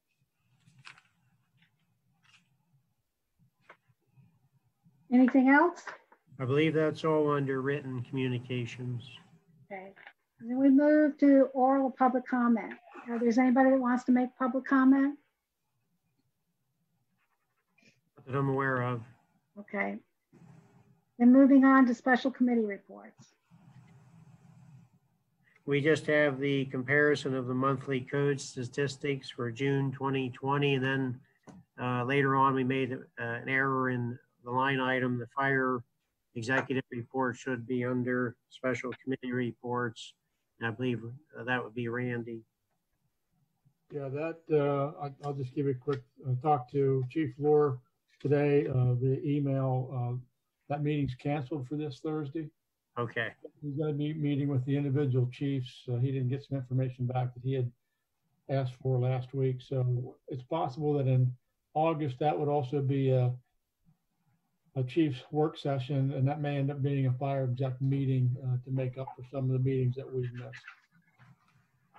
But we are getting into the budget at this point. That's all I have. All righty. Okay. So we're done with special committee reports? Yes. Okay. Mayor Wilson, you're on. All right, thank you very much. Um, I have a, just a couple items here. Uh, the first one is uh, Governor Wolf signed uh, first two law enforcement reform bills, and uh, there's been you know a good bit of publicity on that. Uh, there's uh, a complete listing of the bill, what it covers, and that's all can be seen. If you have uh, further interest in knowing the details, you can get that at governor.pa.gov. That's governor.pa.gov. That'll give you all the skinny that you need on that particular item. Um, I'd like to just uh, point out that uh, our fireworks ordinance is um, I had, I had hoped and brought to council about a year ago that we um, ban fireworks from the borough. Uh, I think it was decided at that point we already had an ordinance and that was fine. Uh, last night we had a huge display of fireworks. Looked like the Undines were doing their normal firework display. Uh, Mike Prendergast can attest to this as well because this display took place right next to the uh, Methodist Church in downtown uh, on Spring Street in a backyard. Um, it went on for probably 15, 20 minutes. Uh, I went to the location and had an interaction with the people there and explained to them, even though they said their fireworks were legal, I said they are legal, but they're not legal to be set off in the borough at this time. Uh, of course, I got got a lot of kickback from everybody, and um, I did meet with the chief today and talk to him about uh, having his officers be a little more attentive to illegal fireworks uh, in the borough. And uh, last night's display was, um, like I said, it was it was large and long, and it has the potential to catch one of our buildings on fire. So I think we need to look a little more seriously at this in the future and either decide to ban it completely or not, or if not, we're, we're going to have people just setting them off all year long and we are going to have a fire and then it's going to be on us. Um, I think that's about it. We're going to cover something else that Ralph and I had talked about and Joanne's going to address. And I think one of her um, presentations here as council president. So I'll wait till then to discuss uh, that particular issue. Thank you. Any questions? Any comments? Um, did you just say, did you say it was Undines or were both the stations involved? No, it was, uh, it was, it was, uh, it looked like the Undine Fire Company's display when they used to do them up in the field. I mean, these were these were large fireworks that went up over the sky and lit up. I mean, I saw the reflection from my window in the Temple Court building, so I knew it was in town. Oh, so it Um, wasn't, it wasn't fire department related? No, no, No, no, no, it it was wasn't that- fire department related. It was a Okay, private 'cause that's- That's what I heard you say, and that was. No, no, I just, I was trying to explain the, the, the uh, enormity of this uh, event. It took, on. it, it started about uh, 20 minutes till 10 and ended around 10 o'clock when I went down and talked with them. And this is the third one I've interceded on, and I don't want to do it anymore. It's because at 10 o'clock, we had no police officers on duty uh, on Sundays. No Bellefonte police officers, and I wasn't going to call the state police in on it, so. Uh, I'm looking to draft a, a letter to uh, the three places where I had to do an intervention and just uh, advise them of our ordinance, our existing ordinance anyhow, that it's legal on Fourth of July and New Year's. That's it. Maybe we ought to uh, look at not that legality. Maybe we should eliminate that altogether. Well, that's what I talked about it about a year ago, and everybody said, well, we already have an ordinance, so Yeah, I remember. I want to rethink it. That's all I'm saying. I, I agree that this year has been worse than previous years. I think everyone's at home and bored and um, it's, it was like every single night in the beginning of July. There were Well, the police, the police station's been getting calls. I've been getting phone calls, and uh, and if you don't, uh, if you don't think this is a problem, I'll just give them your phone number and they can call you. Can we raise the Thanks, Tom. fine in our fee schedule? Can we, is there, well, one, is there a fine? Two, can we move it to the fee schedule and bump it up so it has like a little bit more of a deterrent to it? You Well, can I- if- if- Ralph, you may be able to tell. Go ahead, Ralph.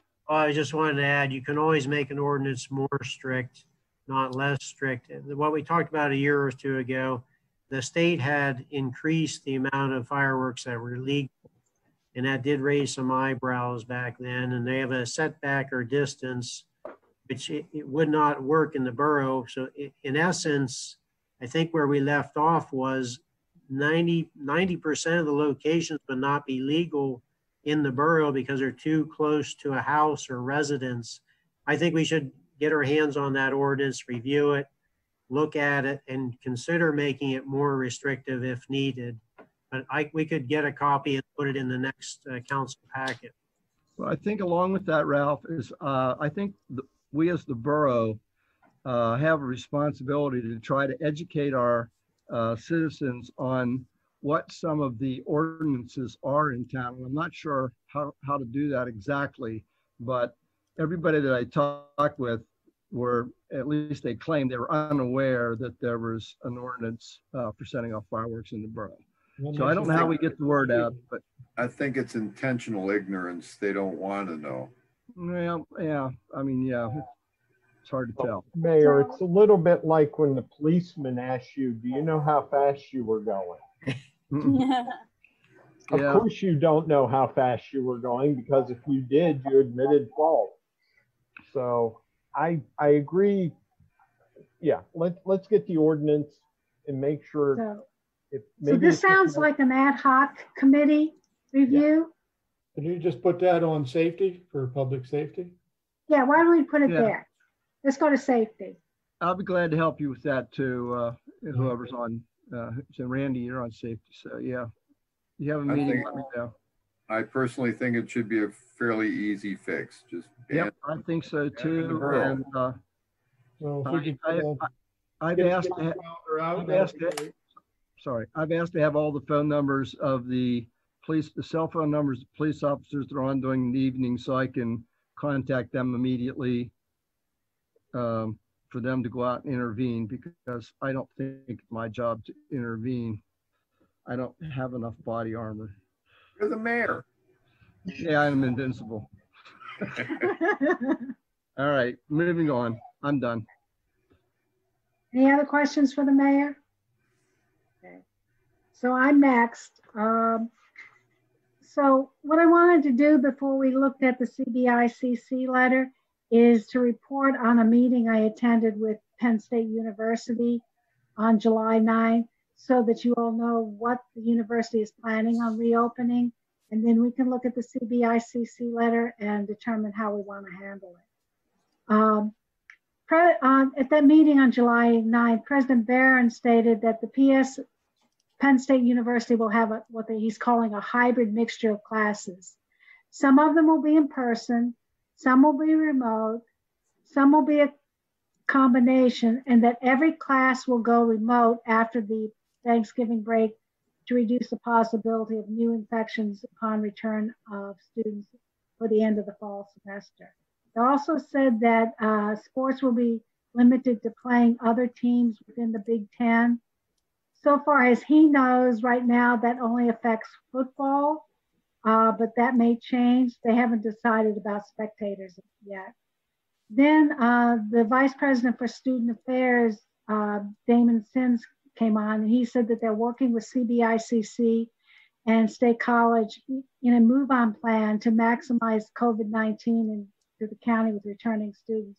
And what it sounded like to me is they're going to bring, bringing groups of students in one week, a certain amount, they handle all of those. Then the next week they bring in another. So some of them will be coming in a little earlier, some will be coming in a little later, so that they have so that they're not having 40,000 uh, students descend all at once on um, the university and causing some social distancing and uh, other issues trying to get into their dorms or their apartments.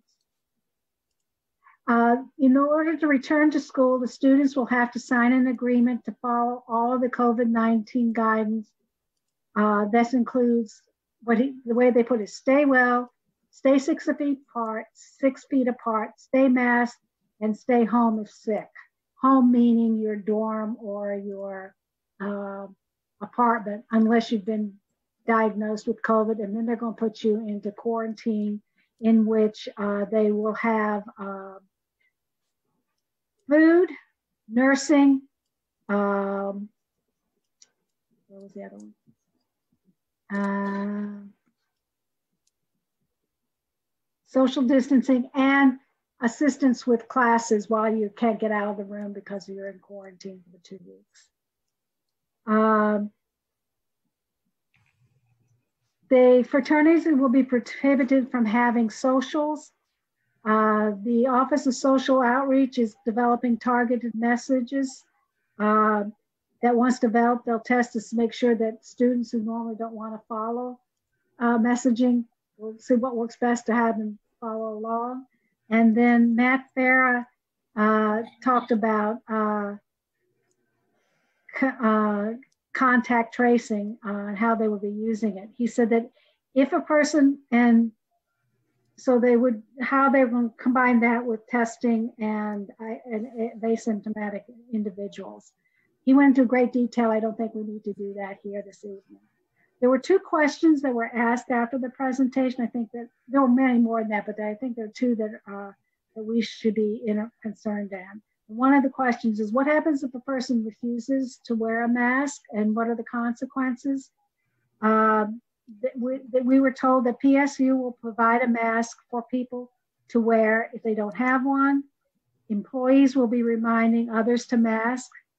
Uh, if a student does not wear a mask or refuses, they will be referred to judicial affairs if they continue to refuse. And the sanctions will be ratcheted up to and including suspension if needed. Uh, for off-campus violations, they will be relying on citations under uh, State College's proposed masking ordinance that, that will be voted on at their first meeting in August. As we said before, State College is a home rule community with the health department.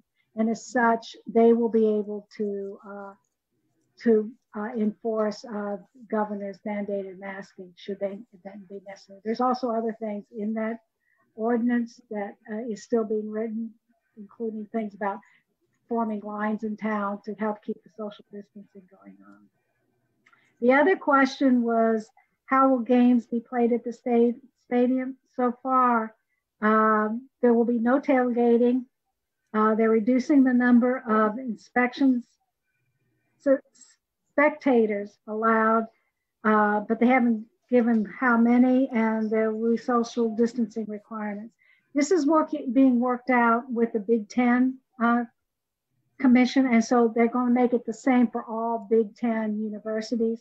So until that thing files, we don't have much more detail on that. Uh, tag, tagging yeah. on, tagging on to what you said, Joanne. Uh, just want to let everybody know. Um, about a week ago, I, I got to receive a phone call um, with uh, from Vern Squier from CBICC um, telling me uh, what the plan is. It, it apparently is uh, Tom Fountaine from State College is crafting an ordinance that will have uh, some enforcement power with it.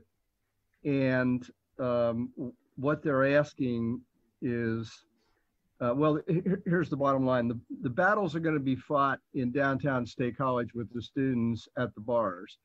So I suggested that he contact the Tavern Association to make sure that all, all the owners are on board and are monitoring their taverns to be in compliance because the uh, most of the citizens of State College and, and the area are concerned with the return of the students.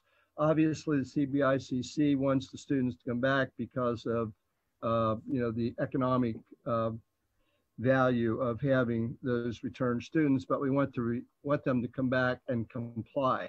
So they're writing an ordinance. Now they're not acting on their ordinance until day after we have our next meeting.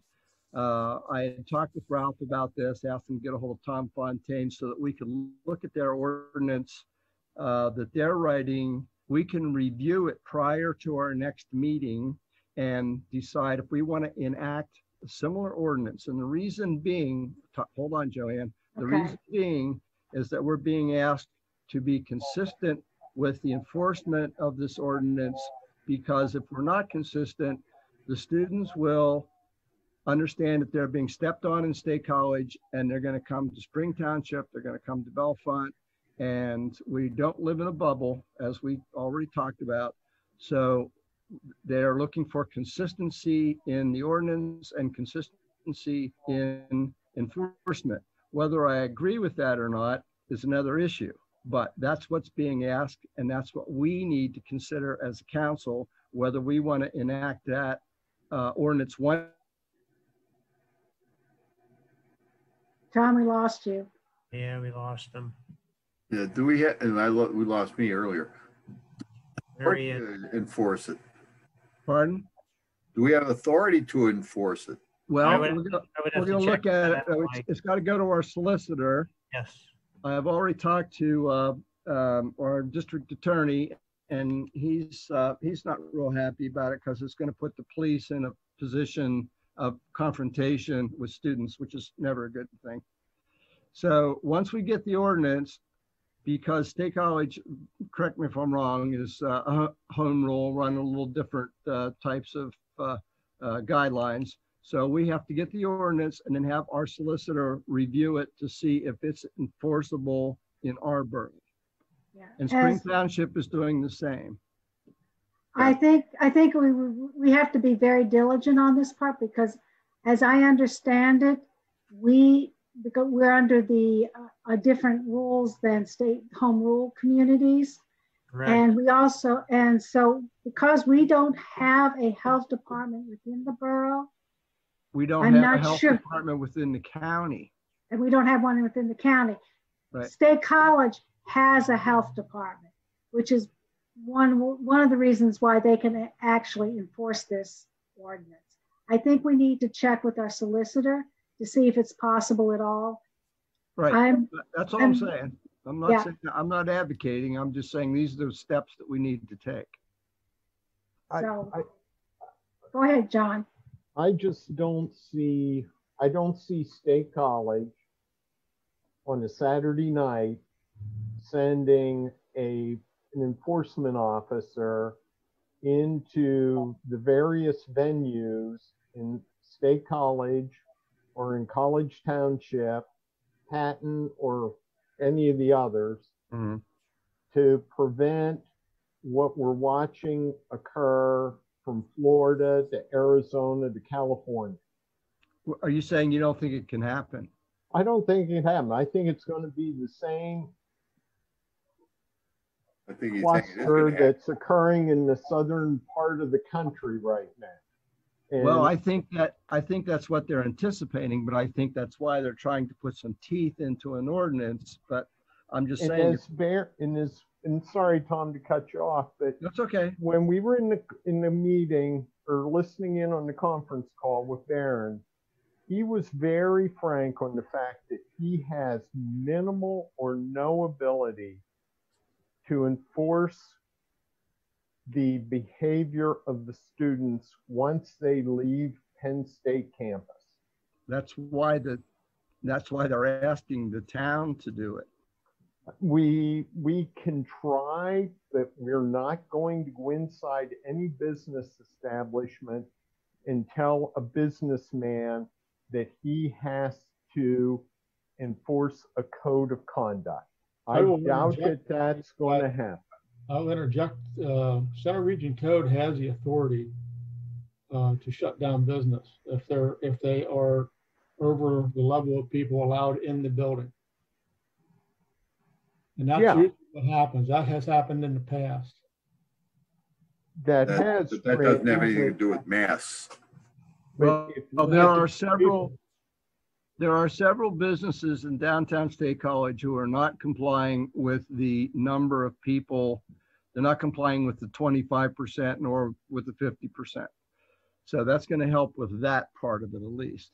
Uh, this is not the hill I want to die on. I don't know that it's, you know, it's going to be State College's problem, but I don't want to see it become our problem when the students get run out of State College because of the pressure put on there, if it even happens at all. Well, What would probably help is if Penn State would say, if you are um, have some teeth from them, that they get, expel the student or something. Is there some, uh, suspend them or some ramification that if they go to an outside town and it gets back to them, that there's some disciplinary action. People asked that of Barron and he, in, in a roundabout way, and he said, no, I can't do that. So, yeah, I'm hearing Belf, Bellefonte, I'm hearing Spring Township, and we're talking about State College, but I think we're also talking about the townships surrounding State College. We have students that don't live in State College, they're not on campus, they live outside State Mhm. College Borough. And I don't hear anything about Patton, uh, you know, or any of the townships outside of State College. Are they involved in this discussion as well? Because they Yeah. have, they have, you know, they're, they're the ones who are gonna be having the parties. Yeah, they've been, every, every t- township and the borough of State College and surrounding townships and borough of Bellefonte and Spring, who has a police department, has been asked to try to have some consistency with enacting and possibly enforcing this if it's legal for us to do. So there are some steps. It's not even positive that all the students are coming back yet, regardless of what's been said. I, I have some inside information that says they're still teetering on this whole thing. Well, you have to do the positive things too. You got to put up the signage, what you're, you know, to let people know what, if they're coming down to Bellefonte, they're going to see signage. This is required, you know, something about the mask and things like that as reminders. Uh, the, the social distancing reminders. But they know when they, if they do that and they obey it, there's no issues. But if they're just, if they're just coming down just because they couldn't do it in State College, doesn't mean you can come and do it in Bellefonte. But I think we have to be positive about it and, and possibly have to put, put the notifications out there that people know that, you know, we're serious about trying to uh, keep this thing in, intact. Well, we also have to enforce it on our own citizenry. So let me, let me add a little bit of information. Uh, Last Thursday, I received an email from Carl Summerson, who's the senior attorney for the Pennsylvania Human Relations Commission regarding uh, ADA guidelines for uh, mandatory masking. Uh, Is, basically tells businesses, employers, and educational facilities what can and can't be done in terms of mandating masking and what kind of questions can be asked. I forwarded that on to Ralph, Don, Sean, uh, DBI, uh, the um, Chambers of Congress, Chamber of Commerce here in town, as well as CBICC and every other Chamber of Commerce and municipality for whom I had a, an email with on Friday. So that that information could get, out to the townships and the communities. And if anyone is listening and they didn't get it, get hold of me and I'll send that to you through my other hat uh, as chair of the Centre County Advisory Council to the Human Relations Commission. I think that might help a little bit with this educational piece about what businesses can and can't do. I don't know how far it will go, but at least it gives more information about what's legal and what's not legal. But Joanne, is it anything different than what's been in Dr. Levine's direction that any of the grocery stores will quote to you when you Yes. ask? Yes, it is. There is something different there? Yes, it basically says uh, that uh, if you're an essential business, you can't ask the person uh, what the uh, thing their their problem is. However, you can prohibit them entering without a mask and offer them alternative methods to get their essential services. Well, that, that, that would be a little bit different because previously the state guideline was you, you, you, you could not ask them to identify what the medical condition They was. don't, they still don't have to identify what it is. But if they make a positive statement that they have a medical disability that doesn't allow them to have a mask, then the essential services, the grocery stores, the drug stores, can say, okay, uh, here are my, here are the alternatives that we can offer to help make this for you to get your essential services. Things like doing the grocery shopping for them, helping them order online, uh, bring, uh, there was just five or six things. It's a very detailed four page uh, list of suggestions. Having an earlier time for people who have these things that they, would be the only ones in the store. Those are the sort of uh, accommodations that can be made. Uh, maybe Ralph, what you might want to do is send this out to council so that they could see what these are. It's, I think it was it was quite helpful, and I know that uh, DBI and uh, the Chamber of Commerce is distributing them to their businesses here in town. I'll send them out. Thank you, Ralph. Sure. Can we move on to the Spring Creek watershed? Well, no, we no, we still have to go back to the request from CBICC. Uh, there are two ways to handle their request. One is either to have a motion to sign on to their letter, which is basically a full opening with no uh, mitigation, or we could write our own letter to PSU uh, to encourage them to reopen and based on their guidelines, which is basically a more of a balanced act than what the CBICC letter is saying. So it's Well, up to we've you. We've been asked to write a letter.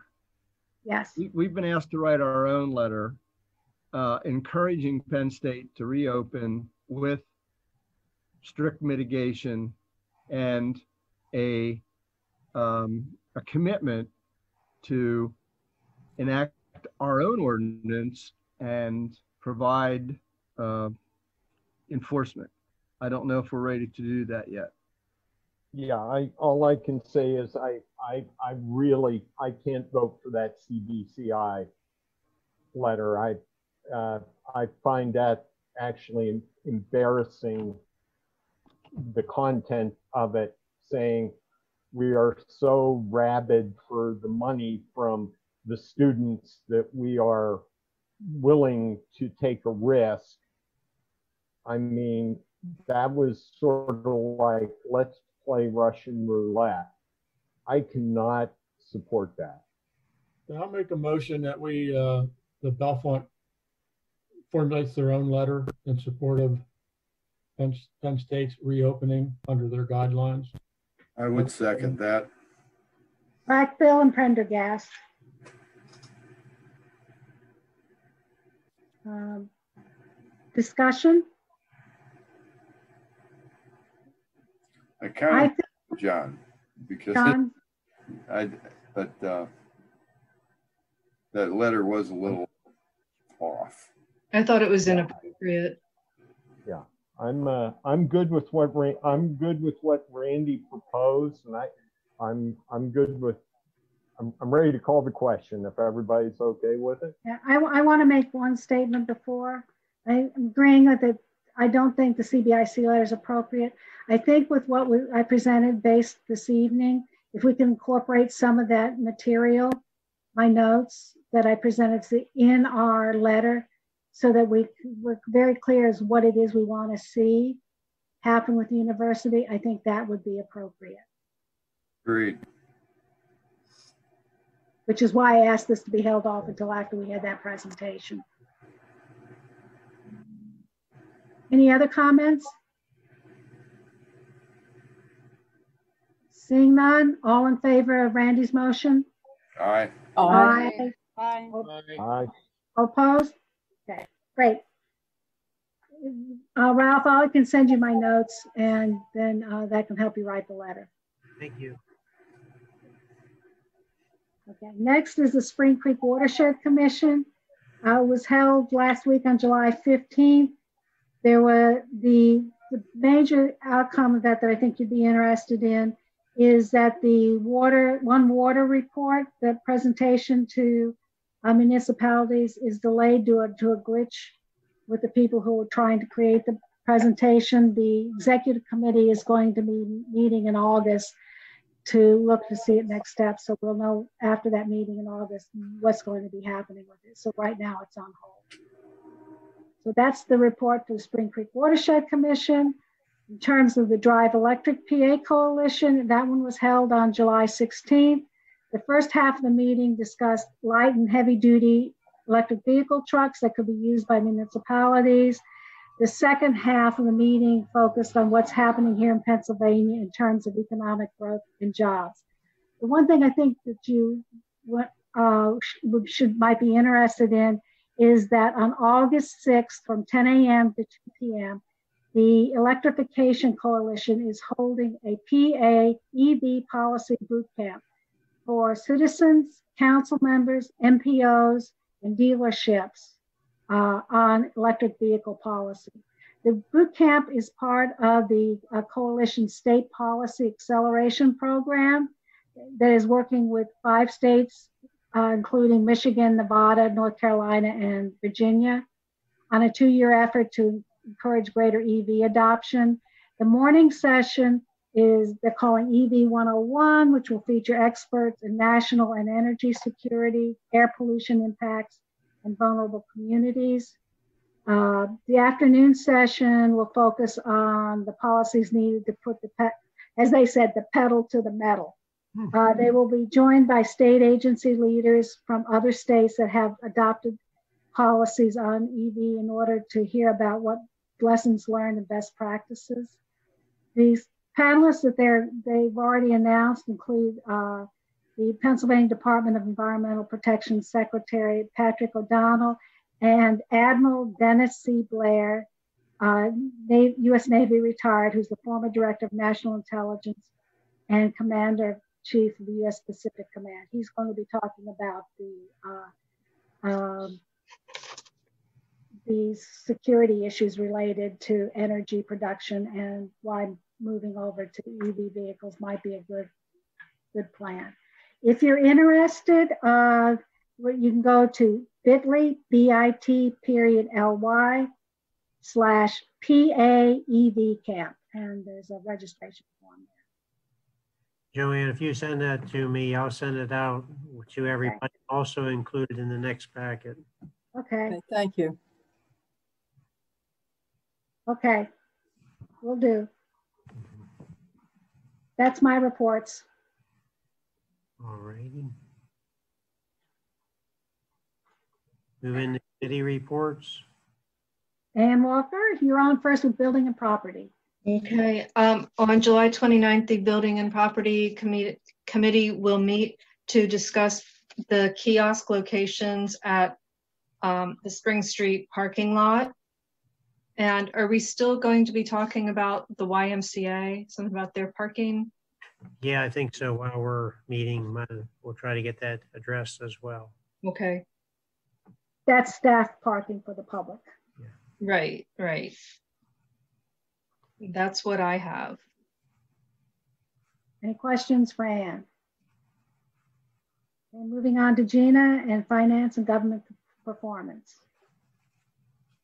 Uh, Finance Committee met last week, I believe, and we uh, primarily just discussed the furlough program um, and kind of what we learned from that and how to move forward from that and um, kind of ways to improve that should we need to approach it again.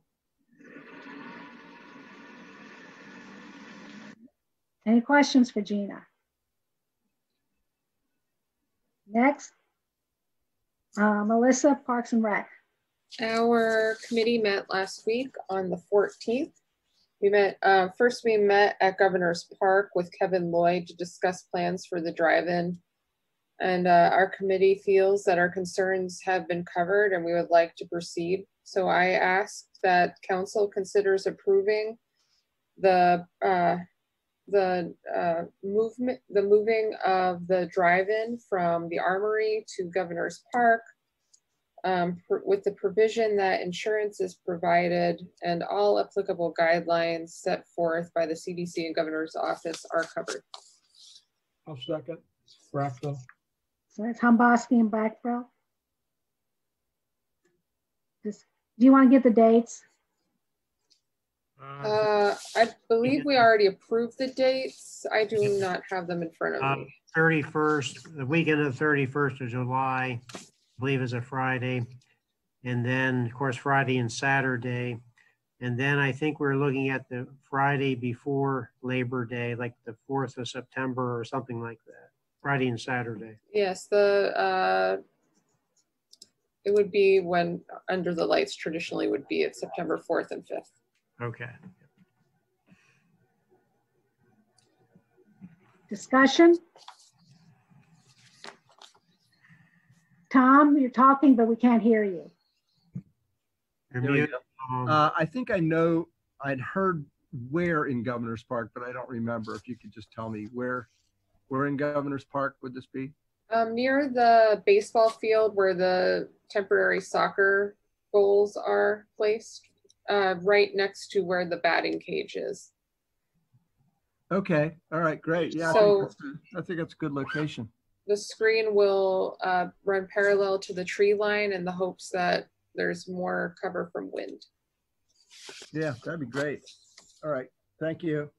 And, and they're planning on doing it with cars. If the ground's mushy, then they will have people in chairs with social distancing and we would be limiting it to 250 people maximum.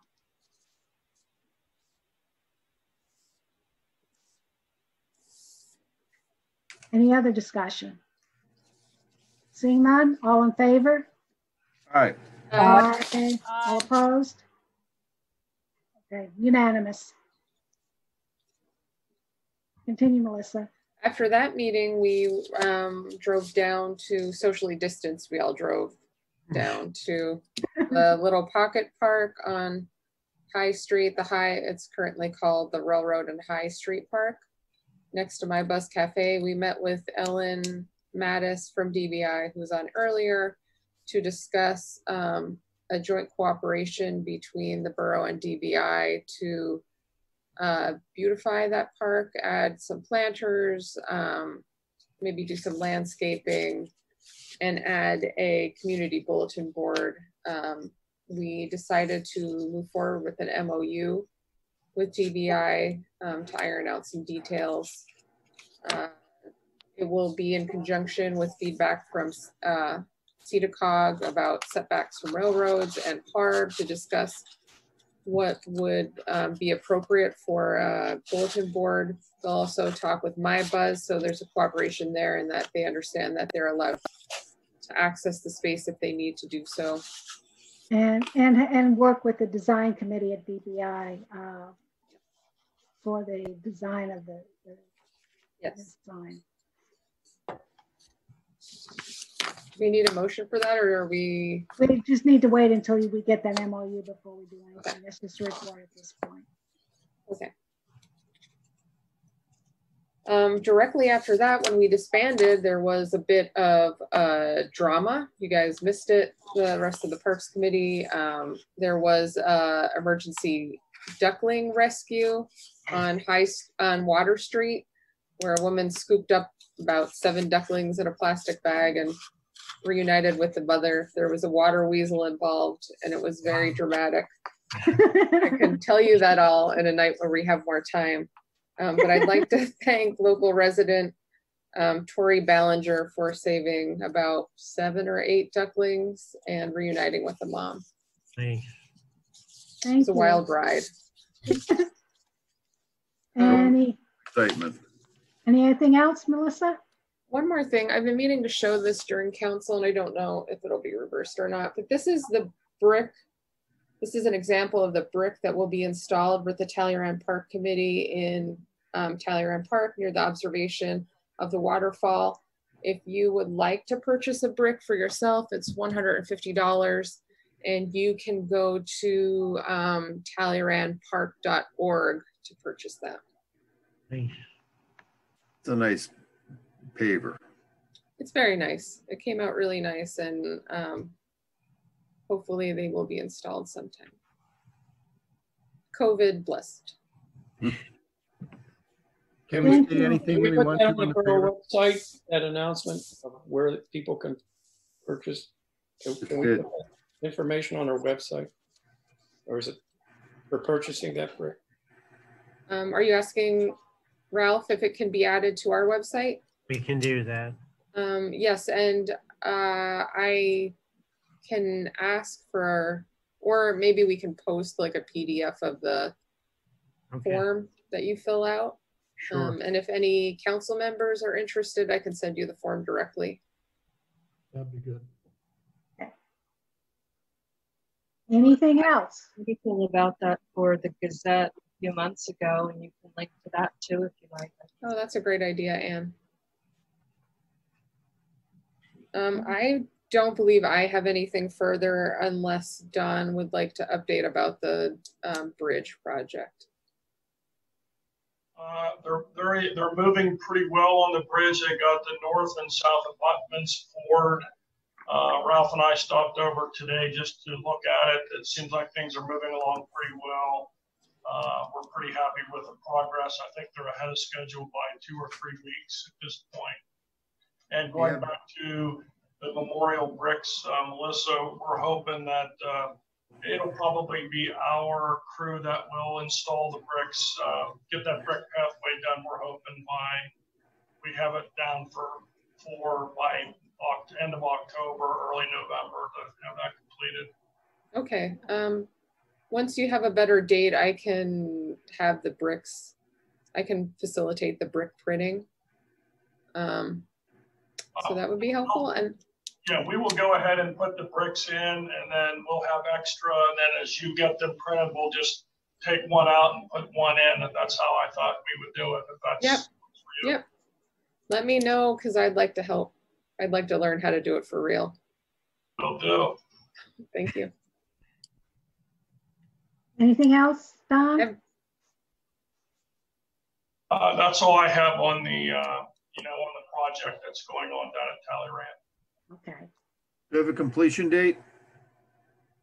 Uh, it has to be completed, uh, prior to September thirtieth, I think is the, uh, deadline. Thank you. Okay, anything else for Parks and Rec? Seeing none, move on to Human Resources. John? Okay, uh, we had a meeting on the, uh, uh, July sixth, uh, at which time, uh, we discussed the, uh, initial cut at, uh, employee reviews for our two direct reports. Uh, we, we were lucky to have a, an unpaid consultant, Joe Vasey, uh, provide us some input, uh, which, uh, has been incorporated and the the second round of revisions has been sent out to uh, the HR committee uh, for their reading pleasure. So uh, please uh, review and revise and send back. Uh, we have uh, two motions. Um, w- would like to make a motion. Yeah, it's a motion to authorize uh, Ralph uh, to uh, send out a letter to Spring Township uh, supervisors and then also the state police uh, so that we could set up a meeting to see, uh, to discuss how we can coordinate our police and EMS services. EMS would only apply to Spring Township. Um, we want to learn about each entity and how we can possibly work together so that we can uh, leverage our resources in the most effective manner. So Um, John's made that motion. Who's going to second it? I'll second. Okay, go ahead. Who who seconded? Uh, oh, I Ann will. Walker. Okay, Walker. Okay. Now we can have the discussion, John. Uh, any discussion? Uh, yeah, I think it's a good idea. We've been talking about that for a long time. I hope we can implement it and get it rolling. So good, good job, John. Okay. Okay. Uh, can we take a vote? Yep, if there's no one, no other questions? I have one other question. When you Yeah. say Spring Township supervisors, you also including the manager? 'Cause- because Yes. He was the previous police chief. Yes, Yes.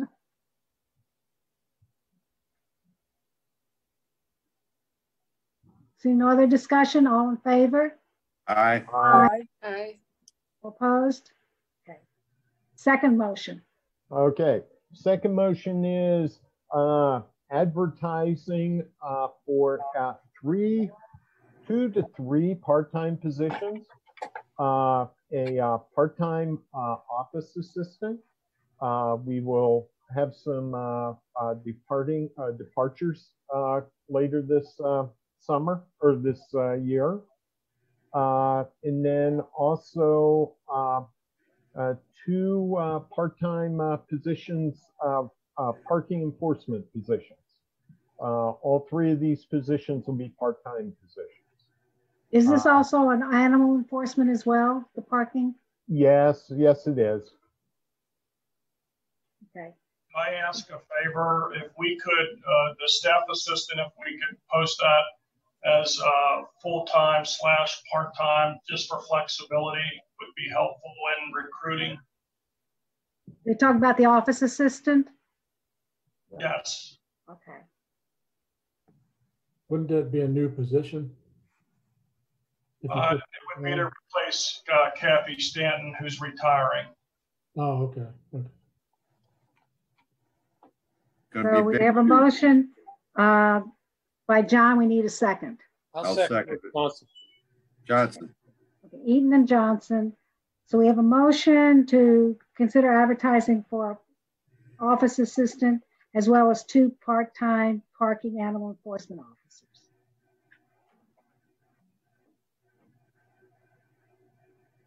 Discussion? Seeing none, all in favor? Aye. Aye. All opposed? Okay. I Got your, still owe the committee, uh, the, uh, job descriptions. I'll have those to you by the end of the week. okay, thank you. Thanks, John. Uh, Anything else, John? No, I'm done. Okay, moving on to uh, safety, Randy? uh, workplace safety meetings have not been held uh, probably since March, maybe February. I think it was March. I think it was March. So there is some additional training needed. I know I missed uh, required training uh, last July. I was, I think I was in the middle of retirement and training my replacement, and I was not able to get to it. Uh, I think one of the other members uh, did make it up last Wednesday, and I think Tim Schreffler and I are making it up this, this, actually, uh, this Wednesday. Uh, for, uh, And then, I know we talked about the safety committee reviewing the fireworks ordinance. I'd like to get a doodle calendar sent out to the committee for dates and times. Sure. That's it. Okay, any questions for Randy? Seeing none, move on to water and sanitation. Doug? Thank you, Joanne. Um, You all have a copy of the authority minutes from the last meeting. Uh, But I did want to start off first by, you had a question last uh, meeting, Joanne, about the uh, large withdrawal of water on one, one or two days. Yeah, Ra- Ralph, correct me if I'm wrong, I'm- if my memory doesn't function as well as it should. We had a pump failure that refills the uh, water tower tank that's located behind the uh, Faith Church, I believe. Is that the correct tower, Ralph? That, I, I believe that's the one. It might have been the Corning one, but that's, you're right on target with what happened. okay, so what happened was uh, the, the pump failed to refill the, the tank to the level that it was supposed to. And it was discovered, and it was discovered maybe uh, several hours after that it should have turned on. So therefore, to catch up to what was used, there was a big chunk of water that had to be pumped into the tank. So it made it appear as though there was a, a massive amount used in that 24 hour period. Uh, so that that's what happened. That's the explanation for Okay. that in the in the uh, water usage. Uh, the other one, um, I'd like to have a doodle cal- calendar, Ralph, for the uh, the uh, discuss the volume of brush collection customers and see how we can deal with that. And um, I know we're we're almost out of brush containers uh, to be sold to the borough. Is that a fair statement, Ralph? Well, well, we, we just got a, a shipment in, but, you know, we are, we're almost a thousand customers, you know, so that is a concern of ours. Yes, and we only have one person operating that truck at this time. And uh, so, so that's why the committee needs to meet and discuss how we're going to uh, manage that amount of uh, customers. So if- Ralph, if we could put a doodle calendar out to the committee, I'd appreciate it. Absolutely. The other thing I just want to touch briefly on is if you read the minutes from the uh, Water Authority, you notice that Kevin Lloyd has proposed uh, uh, helping us distribute some of our water, uh, environmentally friendly, by the way. Um, And in- during that conversation, well, he asked that maybe Bellefonte would be interested in selling some sort of flavored water. And during the conversation, he suggested if anybody has a water flavoring that they prefer, he would love to hear about it. And he has a company that, that does these mixes, creates these flavored waters um, that he would be willing to share with us. But he's asking for suggestions of what sort of flavored water uh, you might like to be see created. Uh, we're, we're in the very, very, very early stages of this negotiation. Um, and we have no further details than that. It was just proposed to us. So um, if you have any ideas, send them to Ralph. He'll, he'll collect them all. Um, Here's one, here's one for you, Ralph. How about whiskey? We'll see what we can do. watermelon cucumber. I, I have, I, I don't drink flavored water, but I know a lot of people do. I think he's looking to even do a carbonated sort of thing. Uh, water, it's, it's, his proposal is really, really excited, exciting for our town for exposure. Uh, so, and you know, to hopefully draw visitors into the town. Great. Thank you. Um, Anything else, Doug? I, I think that's it. Any questions? That sounds good. Okay, then we'll move on to streets. Keep it moving. Deb? Okay, the Streets Committee met on July 15th, and we were initially joined by Pat McCool of the Cruise, Bellefonte Cruise. Uh, he had proposed doing a sock hop and an open cruise just on a Friday night. And after discussing all the logistics involved, the Cruise Committee kind of withdrew the proposal. I think with the COVID uh, restrictions and trying to keep the crowd below 250, it was not going to be really realistic to try and hold this event. Uh, LTAP has been contacted to uh, meet with us about the uh, pedestrian crossing at Cross Park and the Gamble Mill, and also to look at the intersection of Bishop and Blanchard Street, since there have been uh, concerns from the residents about visibility at that intersection. Uh, the parking meter ordinance has been distributed to all the committee members so that we can just update all of the details. It's not been updated for many, many years and the um, parking fees need to be updated and also we're redoing some of the parking meter head colors. So we need to get that all straightened out. Uh, I was contacted by a resident on Pine Street who was very concerned about the speed and volume of traffic. Uh, there are increased number of children living on that street and she was concerned about their safety. Uh, we recommended installing watch children signs at both entrances to Pine Street. I noticed that there is one at the top of the hill by where Stony Batter comes up and intersects with uh, Spring and Pine Street. We also discussed changing the stop sign at the intersection of Axemann Road, Mill Street, and Pine Street from a stop with except for right turn to make it a mandatory stop just to mitigate some of the traffic speed.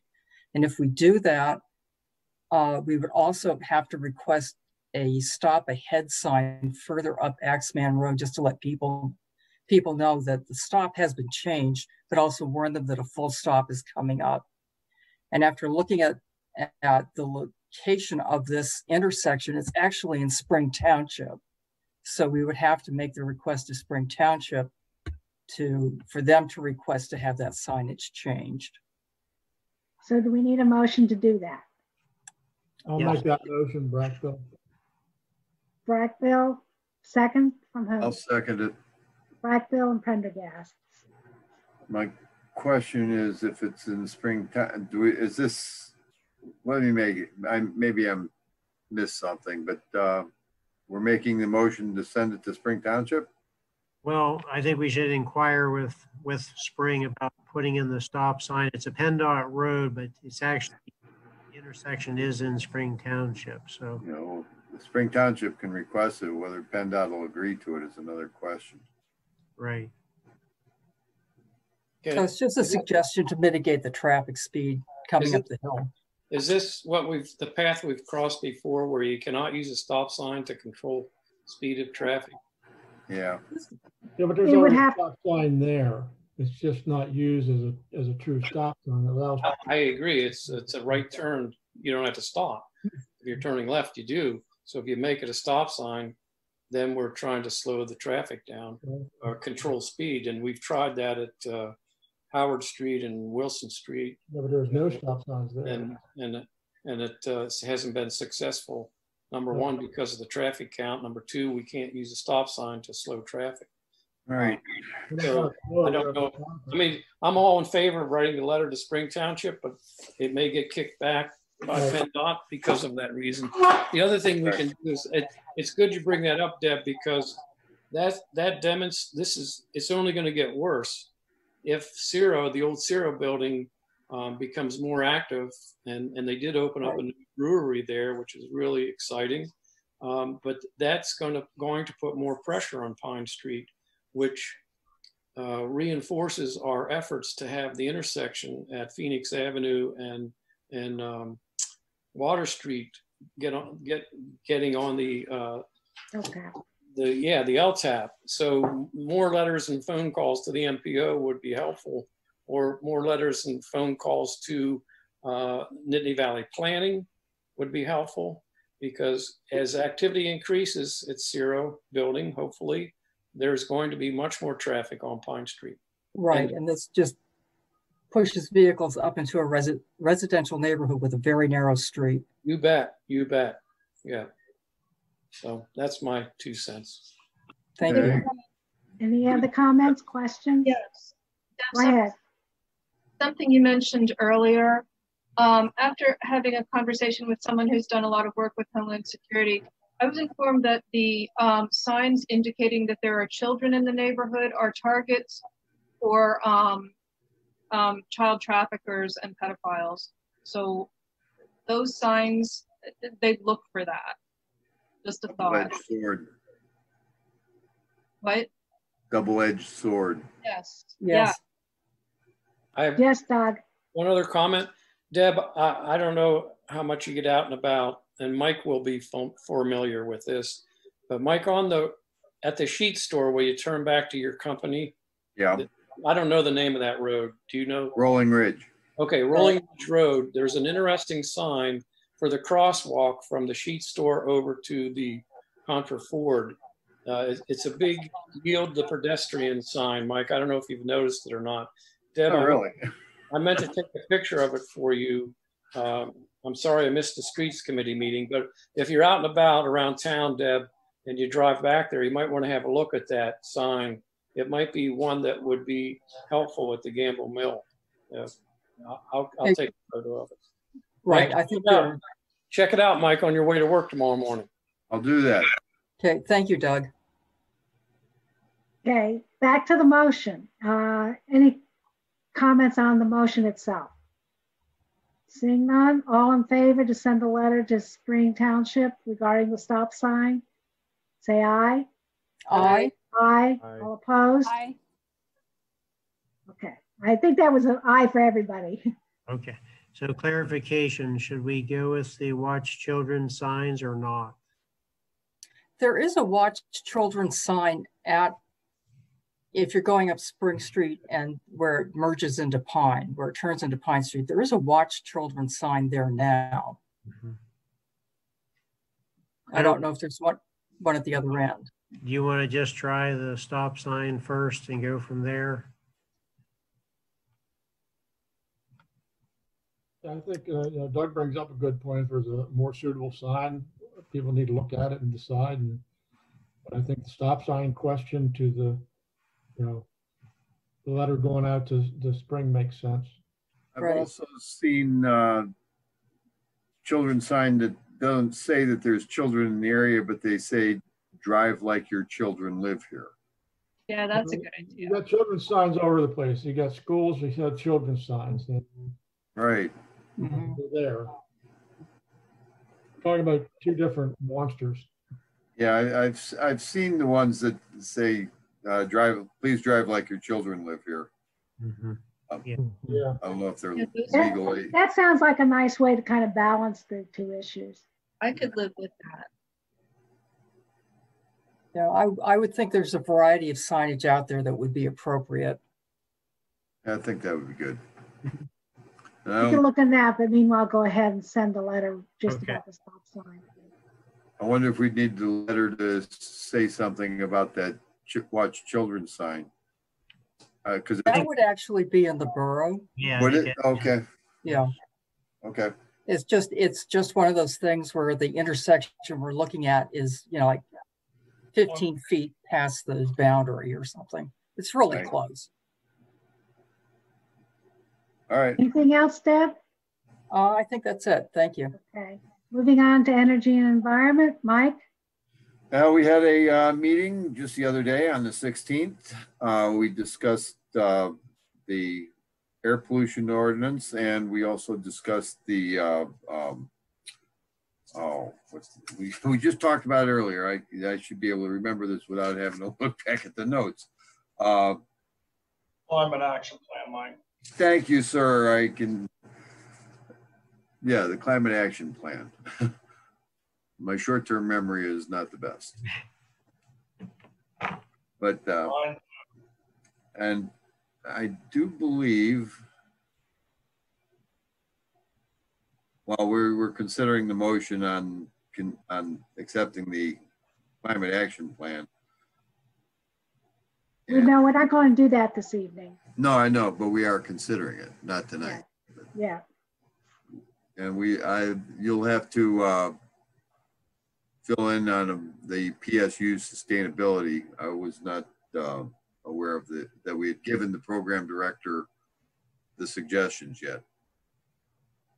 Ralph, do you want to sit- follow up on that? Tell them what this, one of you can tell what the suggestions were, and then we send them to Ilona already.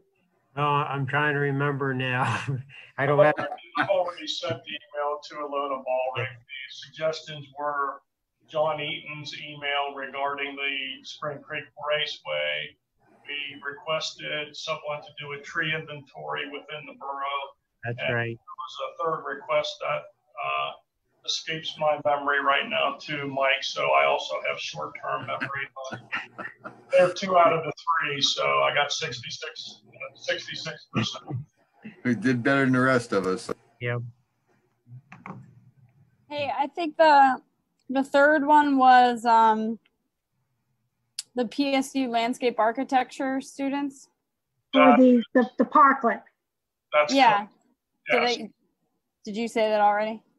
No, thank you, Gina. That's, Oh, okay. Somebody's paying Yep. attention. I I just found my notes from our meeting. Thank you. So regarding the climate action plan, so the next step is for all members of council to review the plan, make suggested changes, send them to Mike between now and August 1st. Then, Oh, August, tw- it's gonna be August fifteenth if you're sending it to me. I'm not gonna be here next month, or next meeting. okay, so. So, and I'm leaving the 4th to the 15th, so I'm also gone at the same time. So why don't we have you do between now and the 15th of, of August? He'll, Mike will be back, then, then we will do a review after our second meeting and present it for acceptance at our September. meeting. Sounds good. Okay.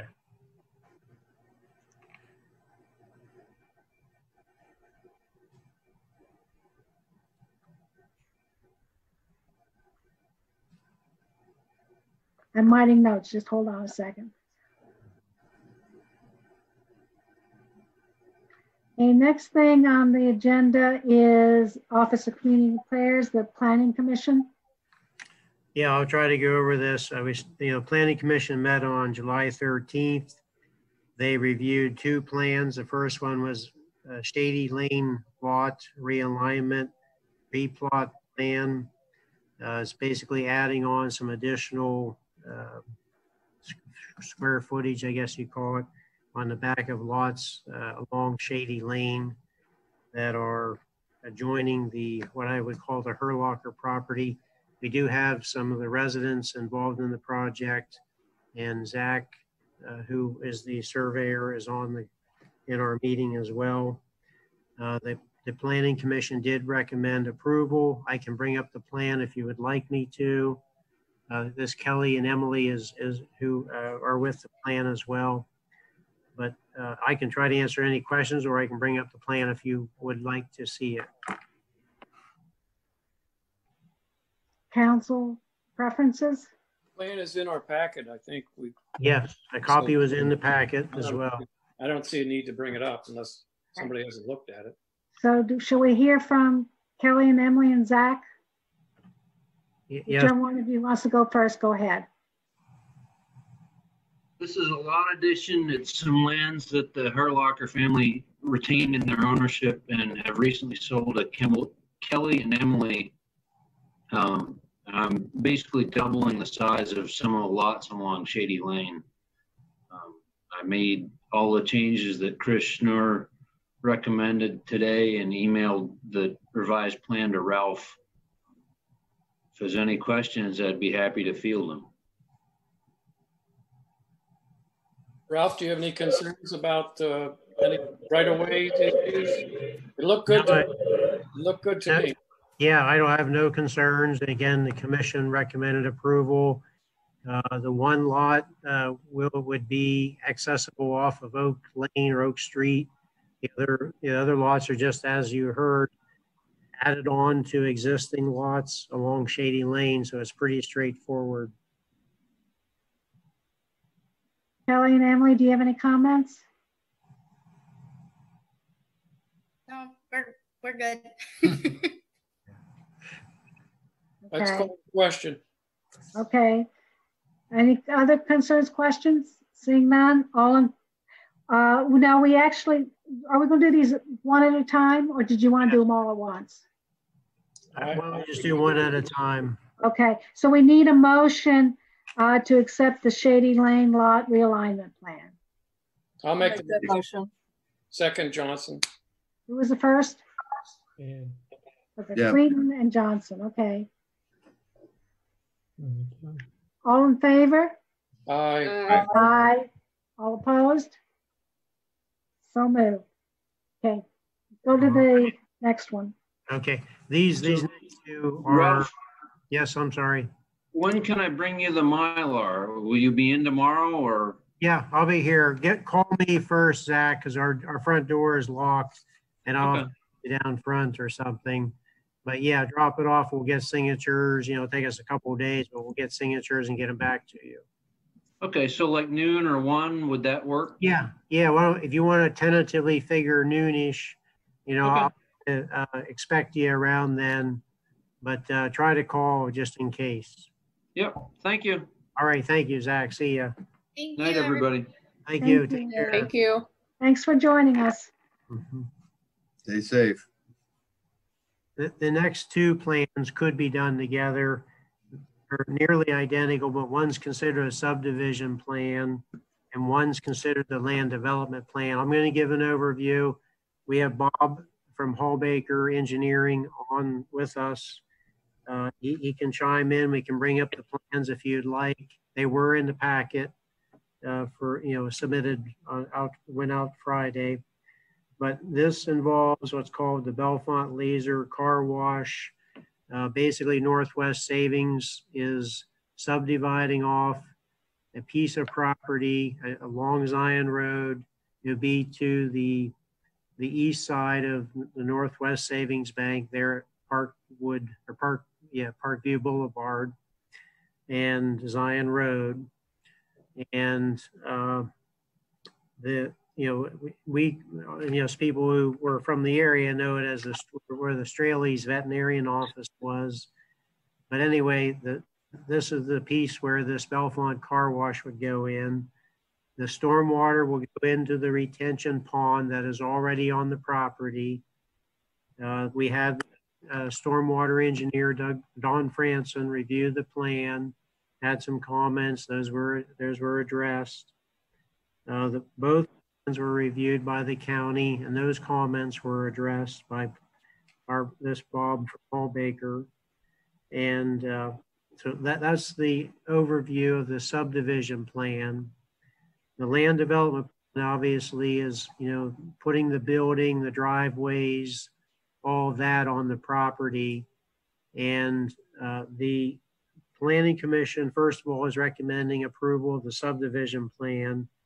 They're recommending approval of the land development plan with a condition that the, the developer receives the highway occupancy permit without any significant changes to the plan.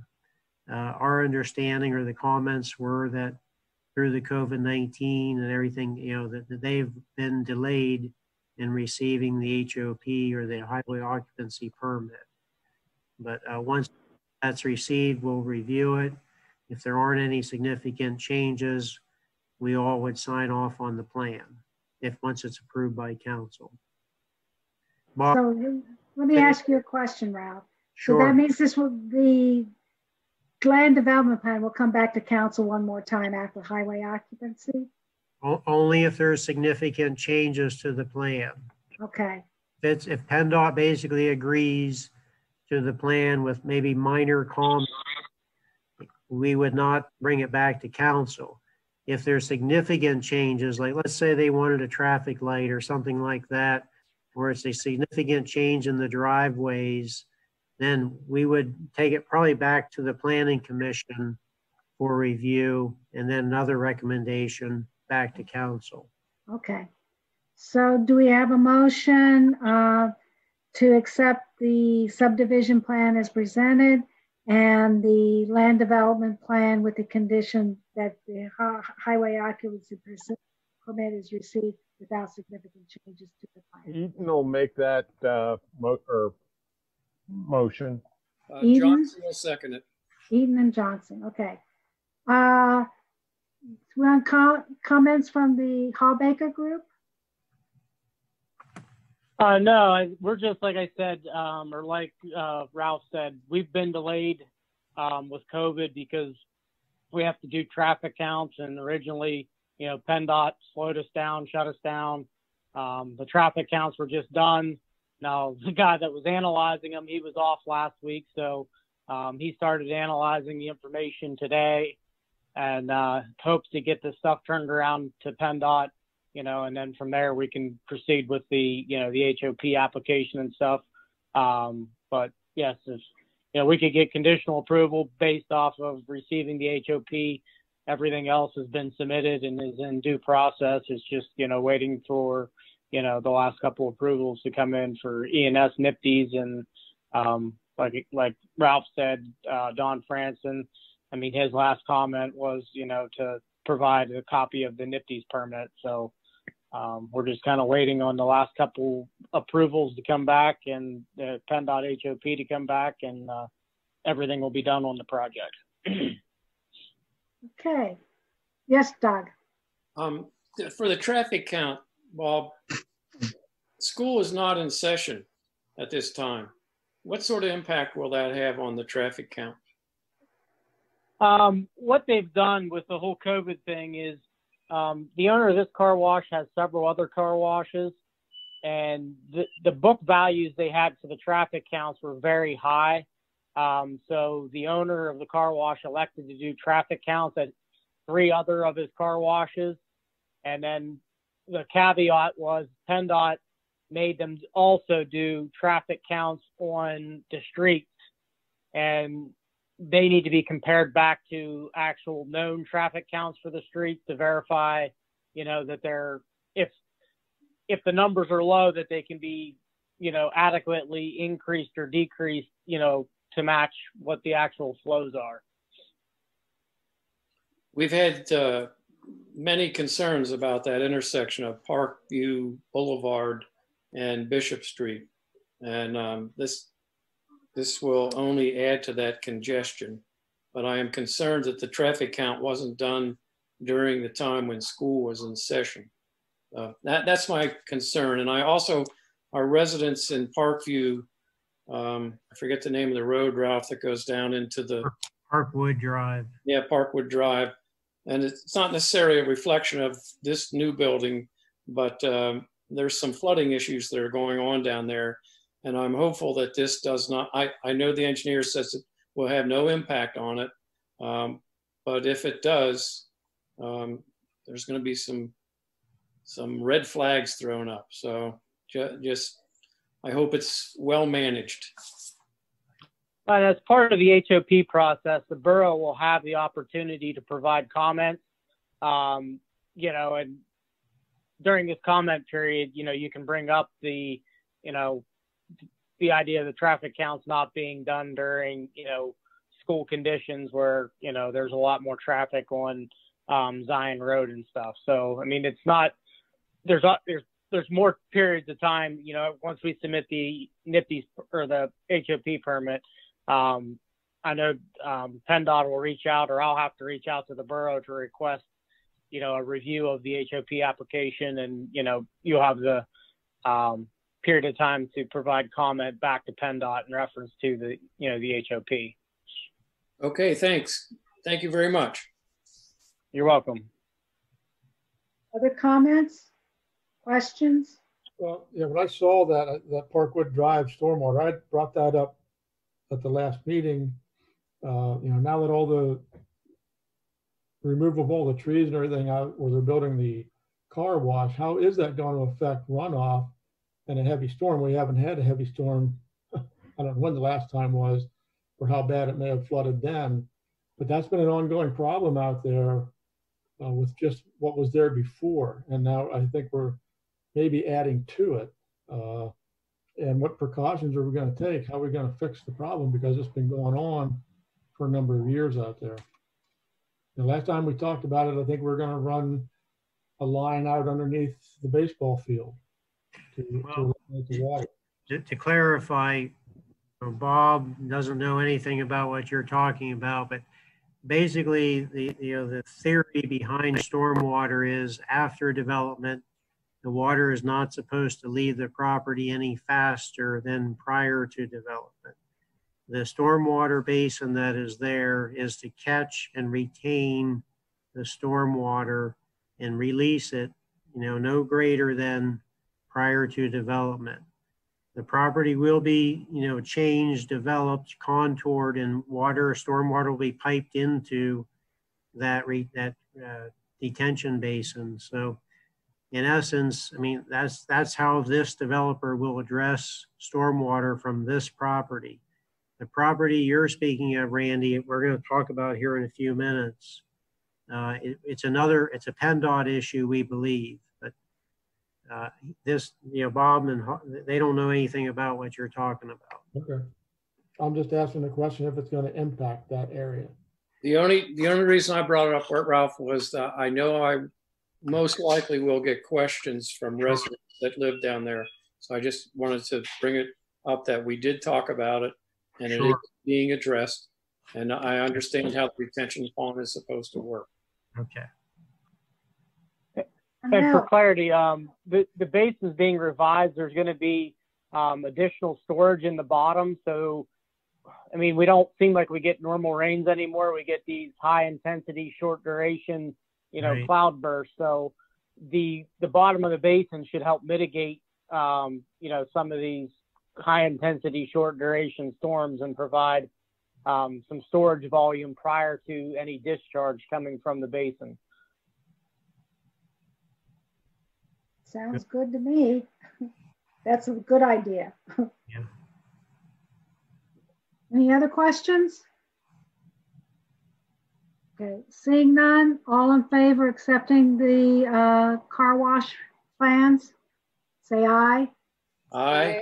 Aye. All opposed? Okay, thank you. Thanks, Bob. Thank you very much. Take Thank care. you. Say good night. Next- Moving on to HARB. Yes, uh, next item, you know, the minutes and all that was in the packet, the presentation. We have three projects. The first is a fence project at four fifty-five East Linn Street. Can we have a motion for that? I'd like to do these separately because there's something different about each of them.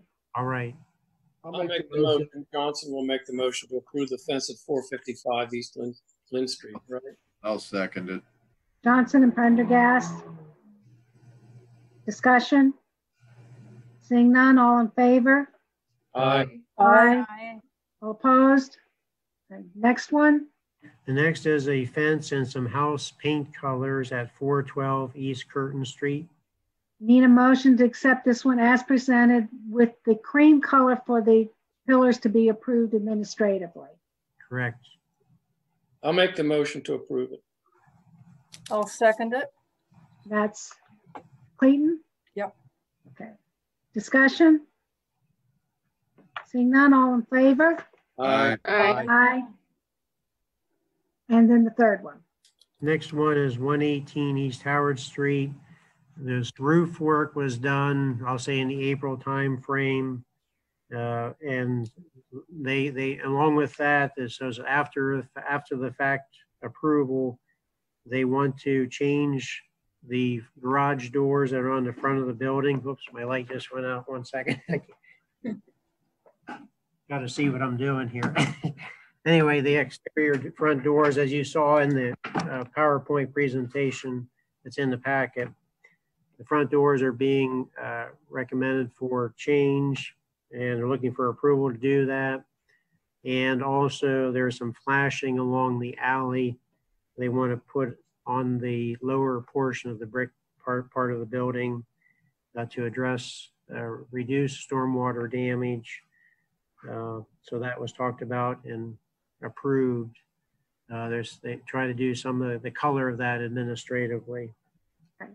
So we have actually two separate motions here. We'll deal with the roof first. Uh, Consider we have multiple metal roof issues. I, I want to make this clear that what's going to happening. Um, So I need a motion to approve the roof retroactively as installed with the caveat that it was installed under duress during the pandemic and options were limited.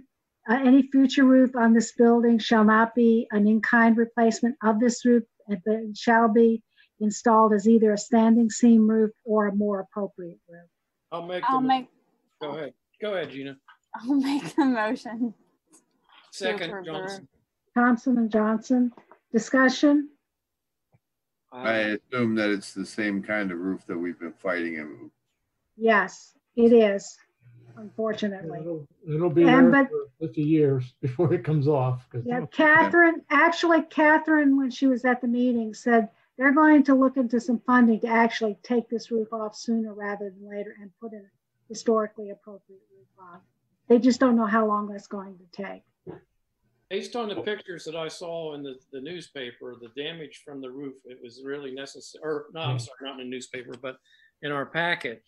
It was, it was absolutely get that roof critical. On and get it repaired. Yes, So- uh, you're absolutely right, Doug. The other thing is, can you really see it from the ground? I can't. Very, not uh, much. You know, it's very close to a standing s- seam when you look at it. It- it- I don't think it has as high as ridges as some of the other metal roofs that have going in. I, I will also have to say this, looking, looking at the conceptualized drawing, that is going to be a beautiful building when they're Oh, I finished. agree. So I'm, I'm really excited and glad that they're doing what they're doing. And I Me just, just Me to- too. It's right around the corner from me. just And to- what I like about it is they're going to make it as an indoor farmer's market. That's what I was gonna say. Yeah. Wonderful. Yeah. Yeah, the other thing is I have a little history lesson for you. I, maybe Don would remember, uh, that used to be the Borough Building, uh, at one time. I didn't know that. Before, Don- before or after the fire department. You know, there, there were borough offices on the second floor. Oh, so it's during. Yeah, I, I, I remember my mom and dad handed me a check, go up and pay the water bill. I had to Huh. clear the stairs and there were offices up there for the borough. Now, you're Cool. sure you're, you're not thinking of the old schoolhouse on Blanchard? No, this was Logan. Okay. Second floor. Check it Okay, out. All so- right. Okay, so uh, we had a discussion on the metal roof. All in favor of accepting Aye. it with this caveat? Aye. Aye. All opposed? Okay. The second motion is uh, the remaining work will be uh, to be accepted as presented, including uh, the windows in the front with the paint scheme, the garage doors, the flashing and control of water on the side of the building. The flashing will, color will be approved administratively by the harbor administrator with the assistance of Gay Dunn. That was at the request of the borough that they work with, with Gay on this particular set. So it'll be a two-person decision in this case. We All- need a I need a motion? motion. I'll, I'll make the motion. I'll Brenda- second it. I'm McGrath and Clayton. Discussion? Seeing none, all in favor? Aye. Aye. Aye. All Opposed? Good, we move on to old business. Okay, uh, the first one, we talked about this letter. Thank you. We will certainly want to thank all the organizations for the center strong efforts, at least the idea of trying to get, you know, recover economically, but yet do it in a safe manner. So we just wanted to pass on a thank you for the efforts in, in, in that regard. The next item, you know, we want to do the Talleyrand Park Bridge Project Payment Application Number One. It's in your packet. Uh, Motion to approve? Yes. I'll make that motion. I'll second that. Who who was the second? Oh, it, it doesn't matter. Okay, Eaton, Clayton and Eaton. Okay. I'm better She likes looking the than Mike. rhyme. She likes the rhyme. Yeah, it, it sounded pretty good there, Mike. Uh, discussion?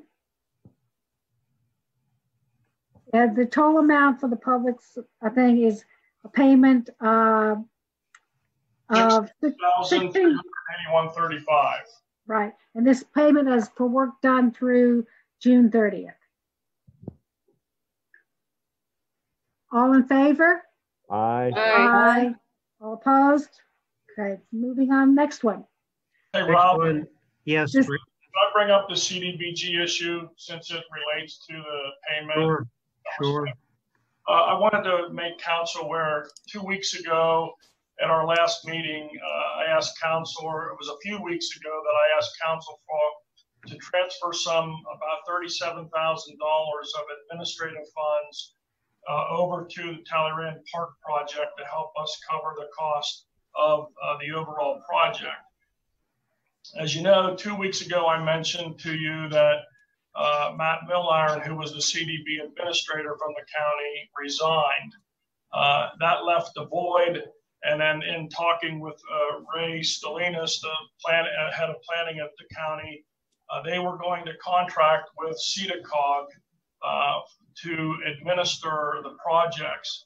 So uh, when I found out from Ray last week, they essentially were. I told Ray that Matt was in the process of uh, doing a, an amendment to our contracts, you know, to change the admin funds over to project funds, and that never got done before Matt resigned. And uh, as uh, in speaking with Ray, what uh, what the county, you know, what they were going to do with the agreement with SEDA-COG is SEDA-COG was going to take all of our admin funds to administer the 16, 17, 18, 19 projects. That comes out to $65,107 for projects that we're, we're going to have finished within the next three to four months. Uh, I would like to, I, I talked to Ray and told him that I would like to come to council and see if council would allow us, the borough, to finish out these projects administratively, keeping the $65,000 in the borough, using it for projects and using it for uh, reimbursement for our work on it as well, instead of it going to, uh, instead of it all going to SEDA-COG. Um, there's two options on the table. I'm sorry this came up. It's just, you know, the county's in a hurry to get SEDA-COG uh, moving because they have the COVID funding, which I would, I'm okay with the uh, having the COVID admin funds administered by SEDA-COG. And from 2020 on, I had no problem with SEDA-COG doing it since they would be working the projects all the way through. But for projects that were already, we've done all the legwork, the bulk of the work is finished. I just can't see the borough losing $65,000.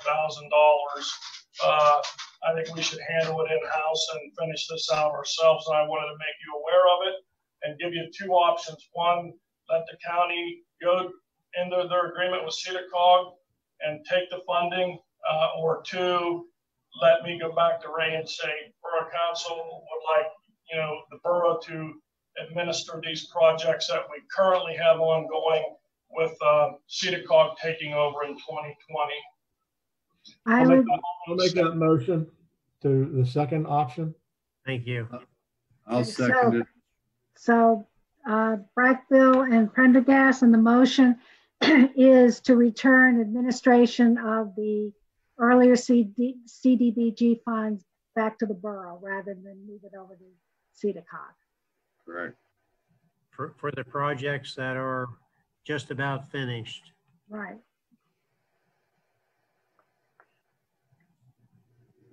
Discussion? Seeing none, all in favor? Discussion- My discussion is, Don, good job. Thanks for taking care of that. Excellent. Yeah. Yep.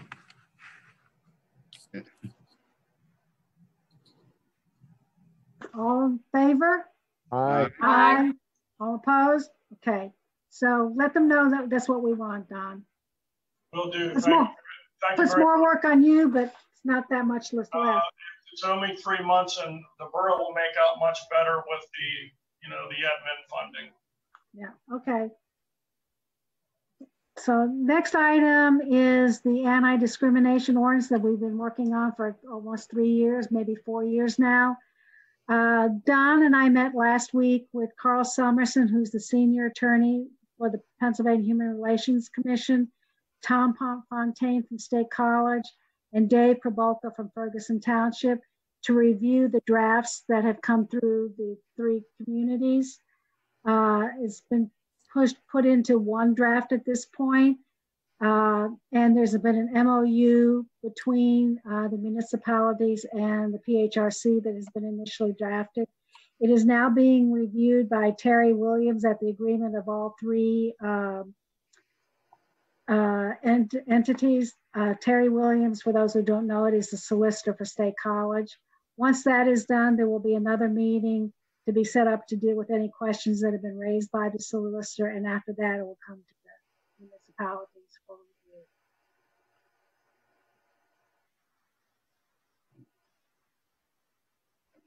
What, what are we looking for?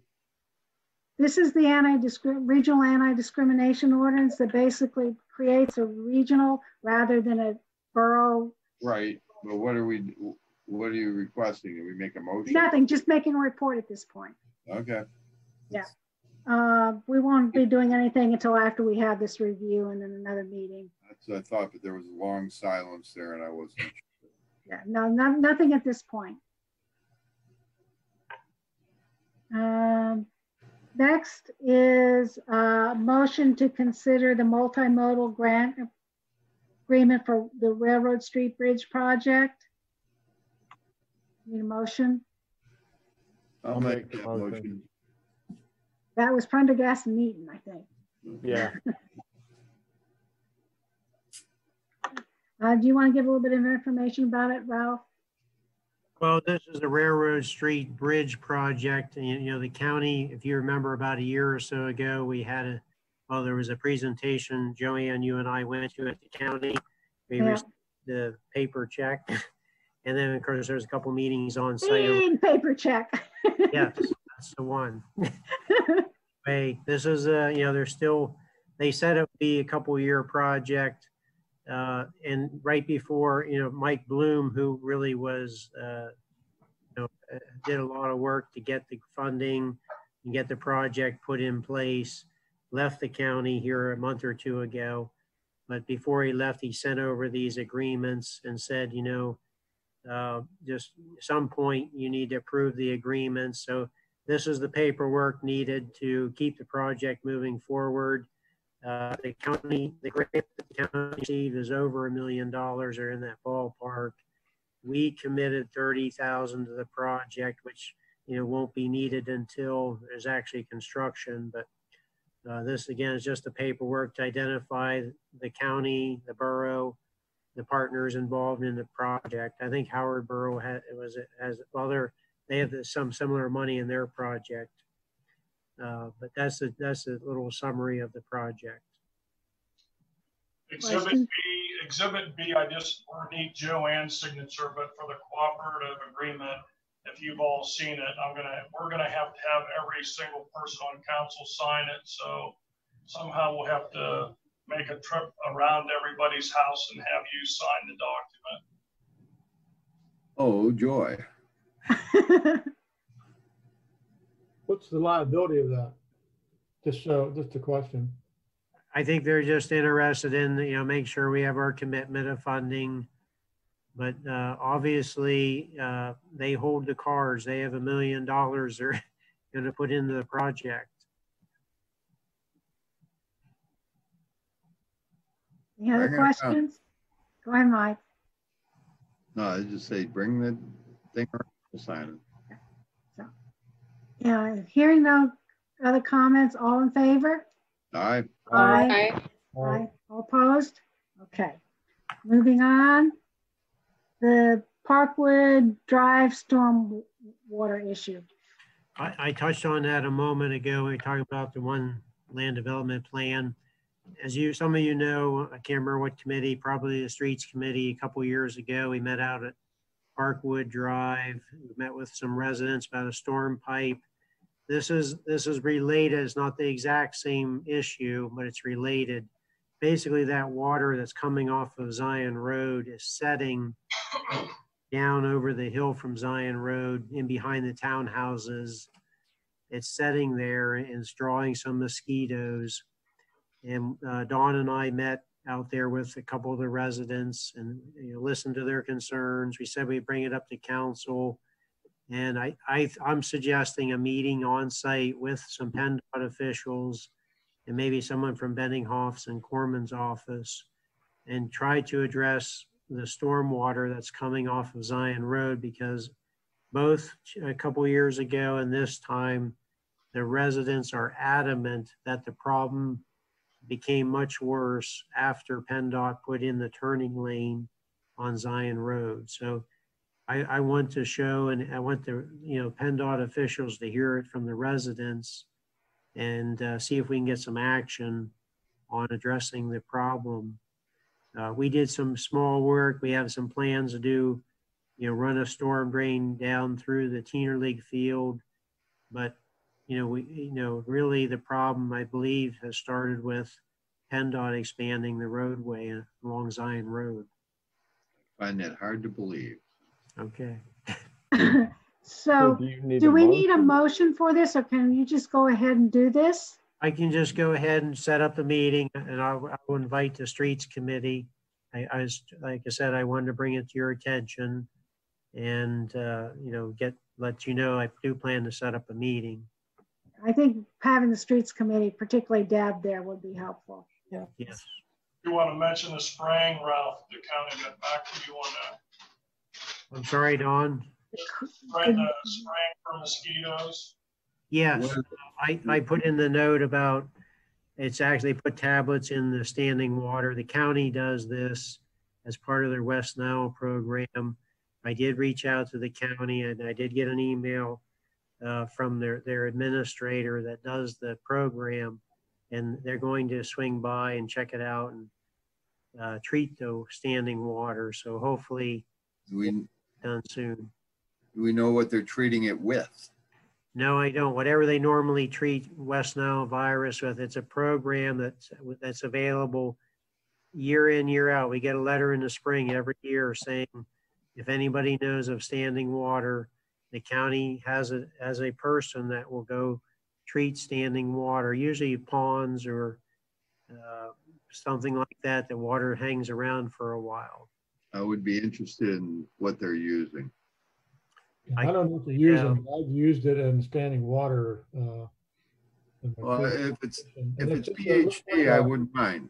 I just want some uh, carcinogenic BS thrown in the water just because it's gonna kill the mosquitoes. I Well, I- I can't can answer what it is. I, I just know that they've been treating, you know, for years. Uh, we've used them out at Musser Lane. There's a couple water low-lying areas that we, we now have filled in, but before that, they were treated. Well, they're not gonna be uh, reticent with, they're not gonna hold back the information. They they won't. No, So ask the question. I can do that. I'm, I'm I'm asking. fine with- Yes, I'm fine with doing that. Okay. So that, that's the extent of the, the project. Uh, We'll be in touch about a meeting. Okay. Uh, we, we had skipped one of the line items under old business. Ad hoc committee, uh, met July fifteenth, uh, looked at the draft, uh, sign ordinance or sign ordinance changes. Oh, that's right. We don't really have to look at it tonight, but maybe give the council members a chance to look at it and, uh, There's, there's one additional change that we discussed, but we never actually made it. If I can share my screen, I can show it real quick. I, I think you can.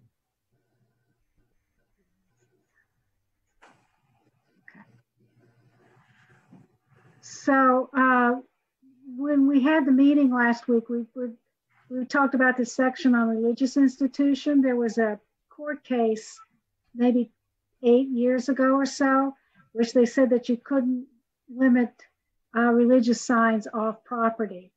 And so what I did is I looked at the rest of the ordinance and I got and revised this to meet what that, as I understand what the, the court case said. And so we would eliminate when located on the premises, just say they are signs that identify places of worship. Then add the maximum area for a sign on the property shall be what we had there before, which is the 25 square feet or, or 50 square feet double phase. And the second, and then add a second sentence in saying off property signage for religious institutions shall not exceed six square feet in size or and not be attached to a tree or building, which perfectly matches another section of the ordinance about small signs. Um, and then the other one um, is a suggestion, and we talked about it and should have been removed, it wasn't, uh, was removing the roll-on raiders example in uh, event signage uh, because two reasons. One is there's the brouhaha on it, but the other is if the uh, if the school board decides to change the mascot, then that would be an obsolete reference. So if we just take it out when we're working on this, we won't have to deal with it in the future if it should change. And so we had decided to remove that, but we forgot to uh, cross it out. Other than that, what you have there is what it is, and I'll forward this the word file, file back to you one more time so you, that you have the correct one. Okay.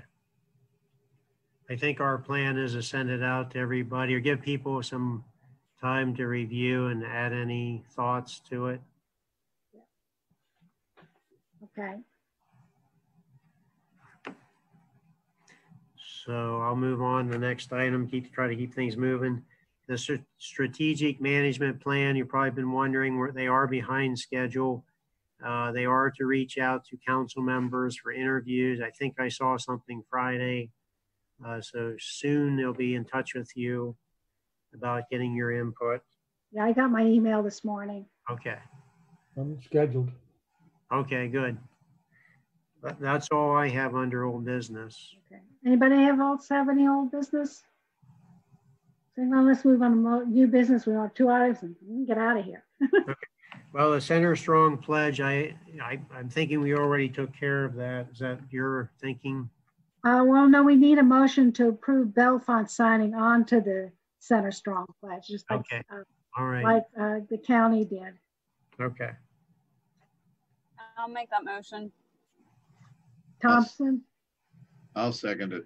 Thompson and Prendergast. Discussion. Um, to for the public, what what this will do is uh, sign us up county with the county and businesses in the community to support that we have a commitment to continuing our efforts to help stop the spread of COVID-19. So, all in favor? Aye. Aye. All opposed? Moving on to the last item. Last item is consider a motion to create a police services advisory committee. Uh, this would include identifying the mission of the committee, any authority it might have, the number of seats. Some of these things have been discussed, but this is just the, the formation or getting things moving from the motion perspective of council. So, we have such a motion. I'll make that motion. Eaton, I'll second. Uh, Gina, can- Thompson. now put Gina down, not me. I, I did put Gina down. You're just on the committee, right?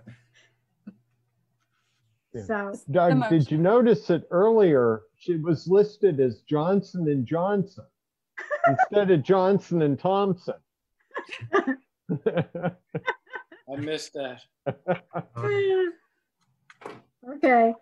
Um, so this was talked about a little bit last week, and, and Doug has got a couple of people who are police officers. I've made a call in to uh, the county and to the Centre Safe program so we can get some experts in this community so they, they can get help us start crafting ideas for such an advisory council. So we're moving along on, but we need uh, official sanction to go ahead. Could, could I request? Joanne, we also had a, As a the request. committee? Wait a minute. John, I didn't understand a single word you said. Well, yeah, sorry about that. Uh, we also had a request from the chief, uh, a gentleman by, uh, uh, Jacoby, uh, Jacobs, I'm sorry. Jacobs. Jacobs, uh, that he, he had requested to be on the committee. Okay, that's that's good. So there's actually two, four, five people that we think will be working with this. Could uh, members of the safety committee be on that as well, since this deals with public safety? Uh, yeah, well, yeah, do Randy, do you want to be on it? Yes. I don't want to have a, I don't want to have a humongous committee. I'd like to be. Okay, Randy and myself. Okay. Uh, uh, discussion? Seeing none, all in favor? I think you're getting the committee too big, too large. That's, that was my concern. Well, why don't you just reach out to the people and see who has gotten back and figure it out from there. I, I have heard back from one saying she's was out of town. She's going to give me a call tomorrow. I have not heard from the other person I contacted. I think we've had positive responses from two people that, that I'm aware of. Yes. I don't know about the others. So, I mean, if Randy wants to handle this and I get off of it, that's perfectly fine with me. So we'd have one council member participating.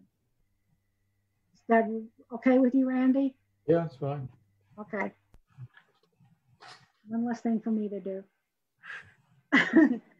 Uh, Okay, all in favor? Aye. Aye. Aye. All opposed? Okay. Any other new business? That's all I have. Motion to adjourn?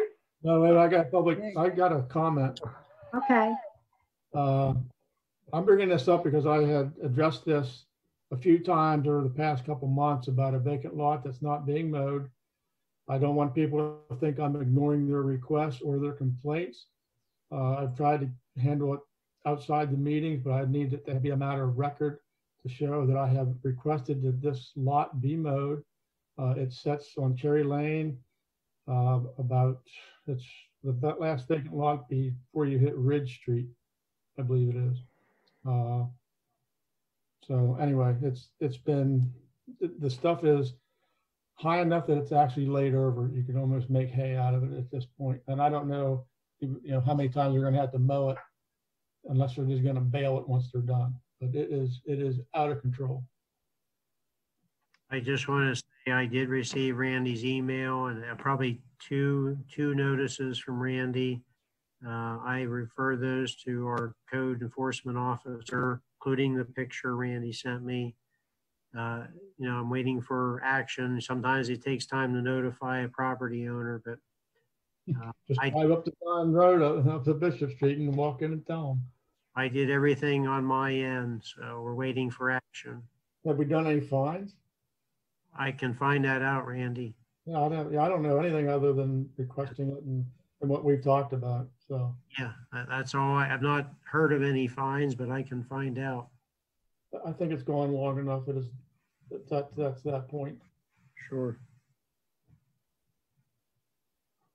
anything my- else? Motion to adjourn? I'll make that motion. I'll Prendergast second it. And I'll second Clayton? it. So Prendergast and Clayton, seeing no objection, we are adjourned at 10:03. Thank you, Well everybody. past my bedtime. Yeah. Night. Bye. Bye. Good night, everybody. Thank you,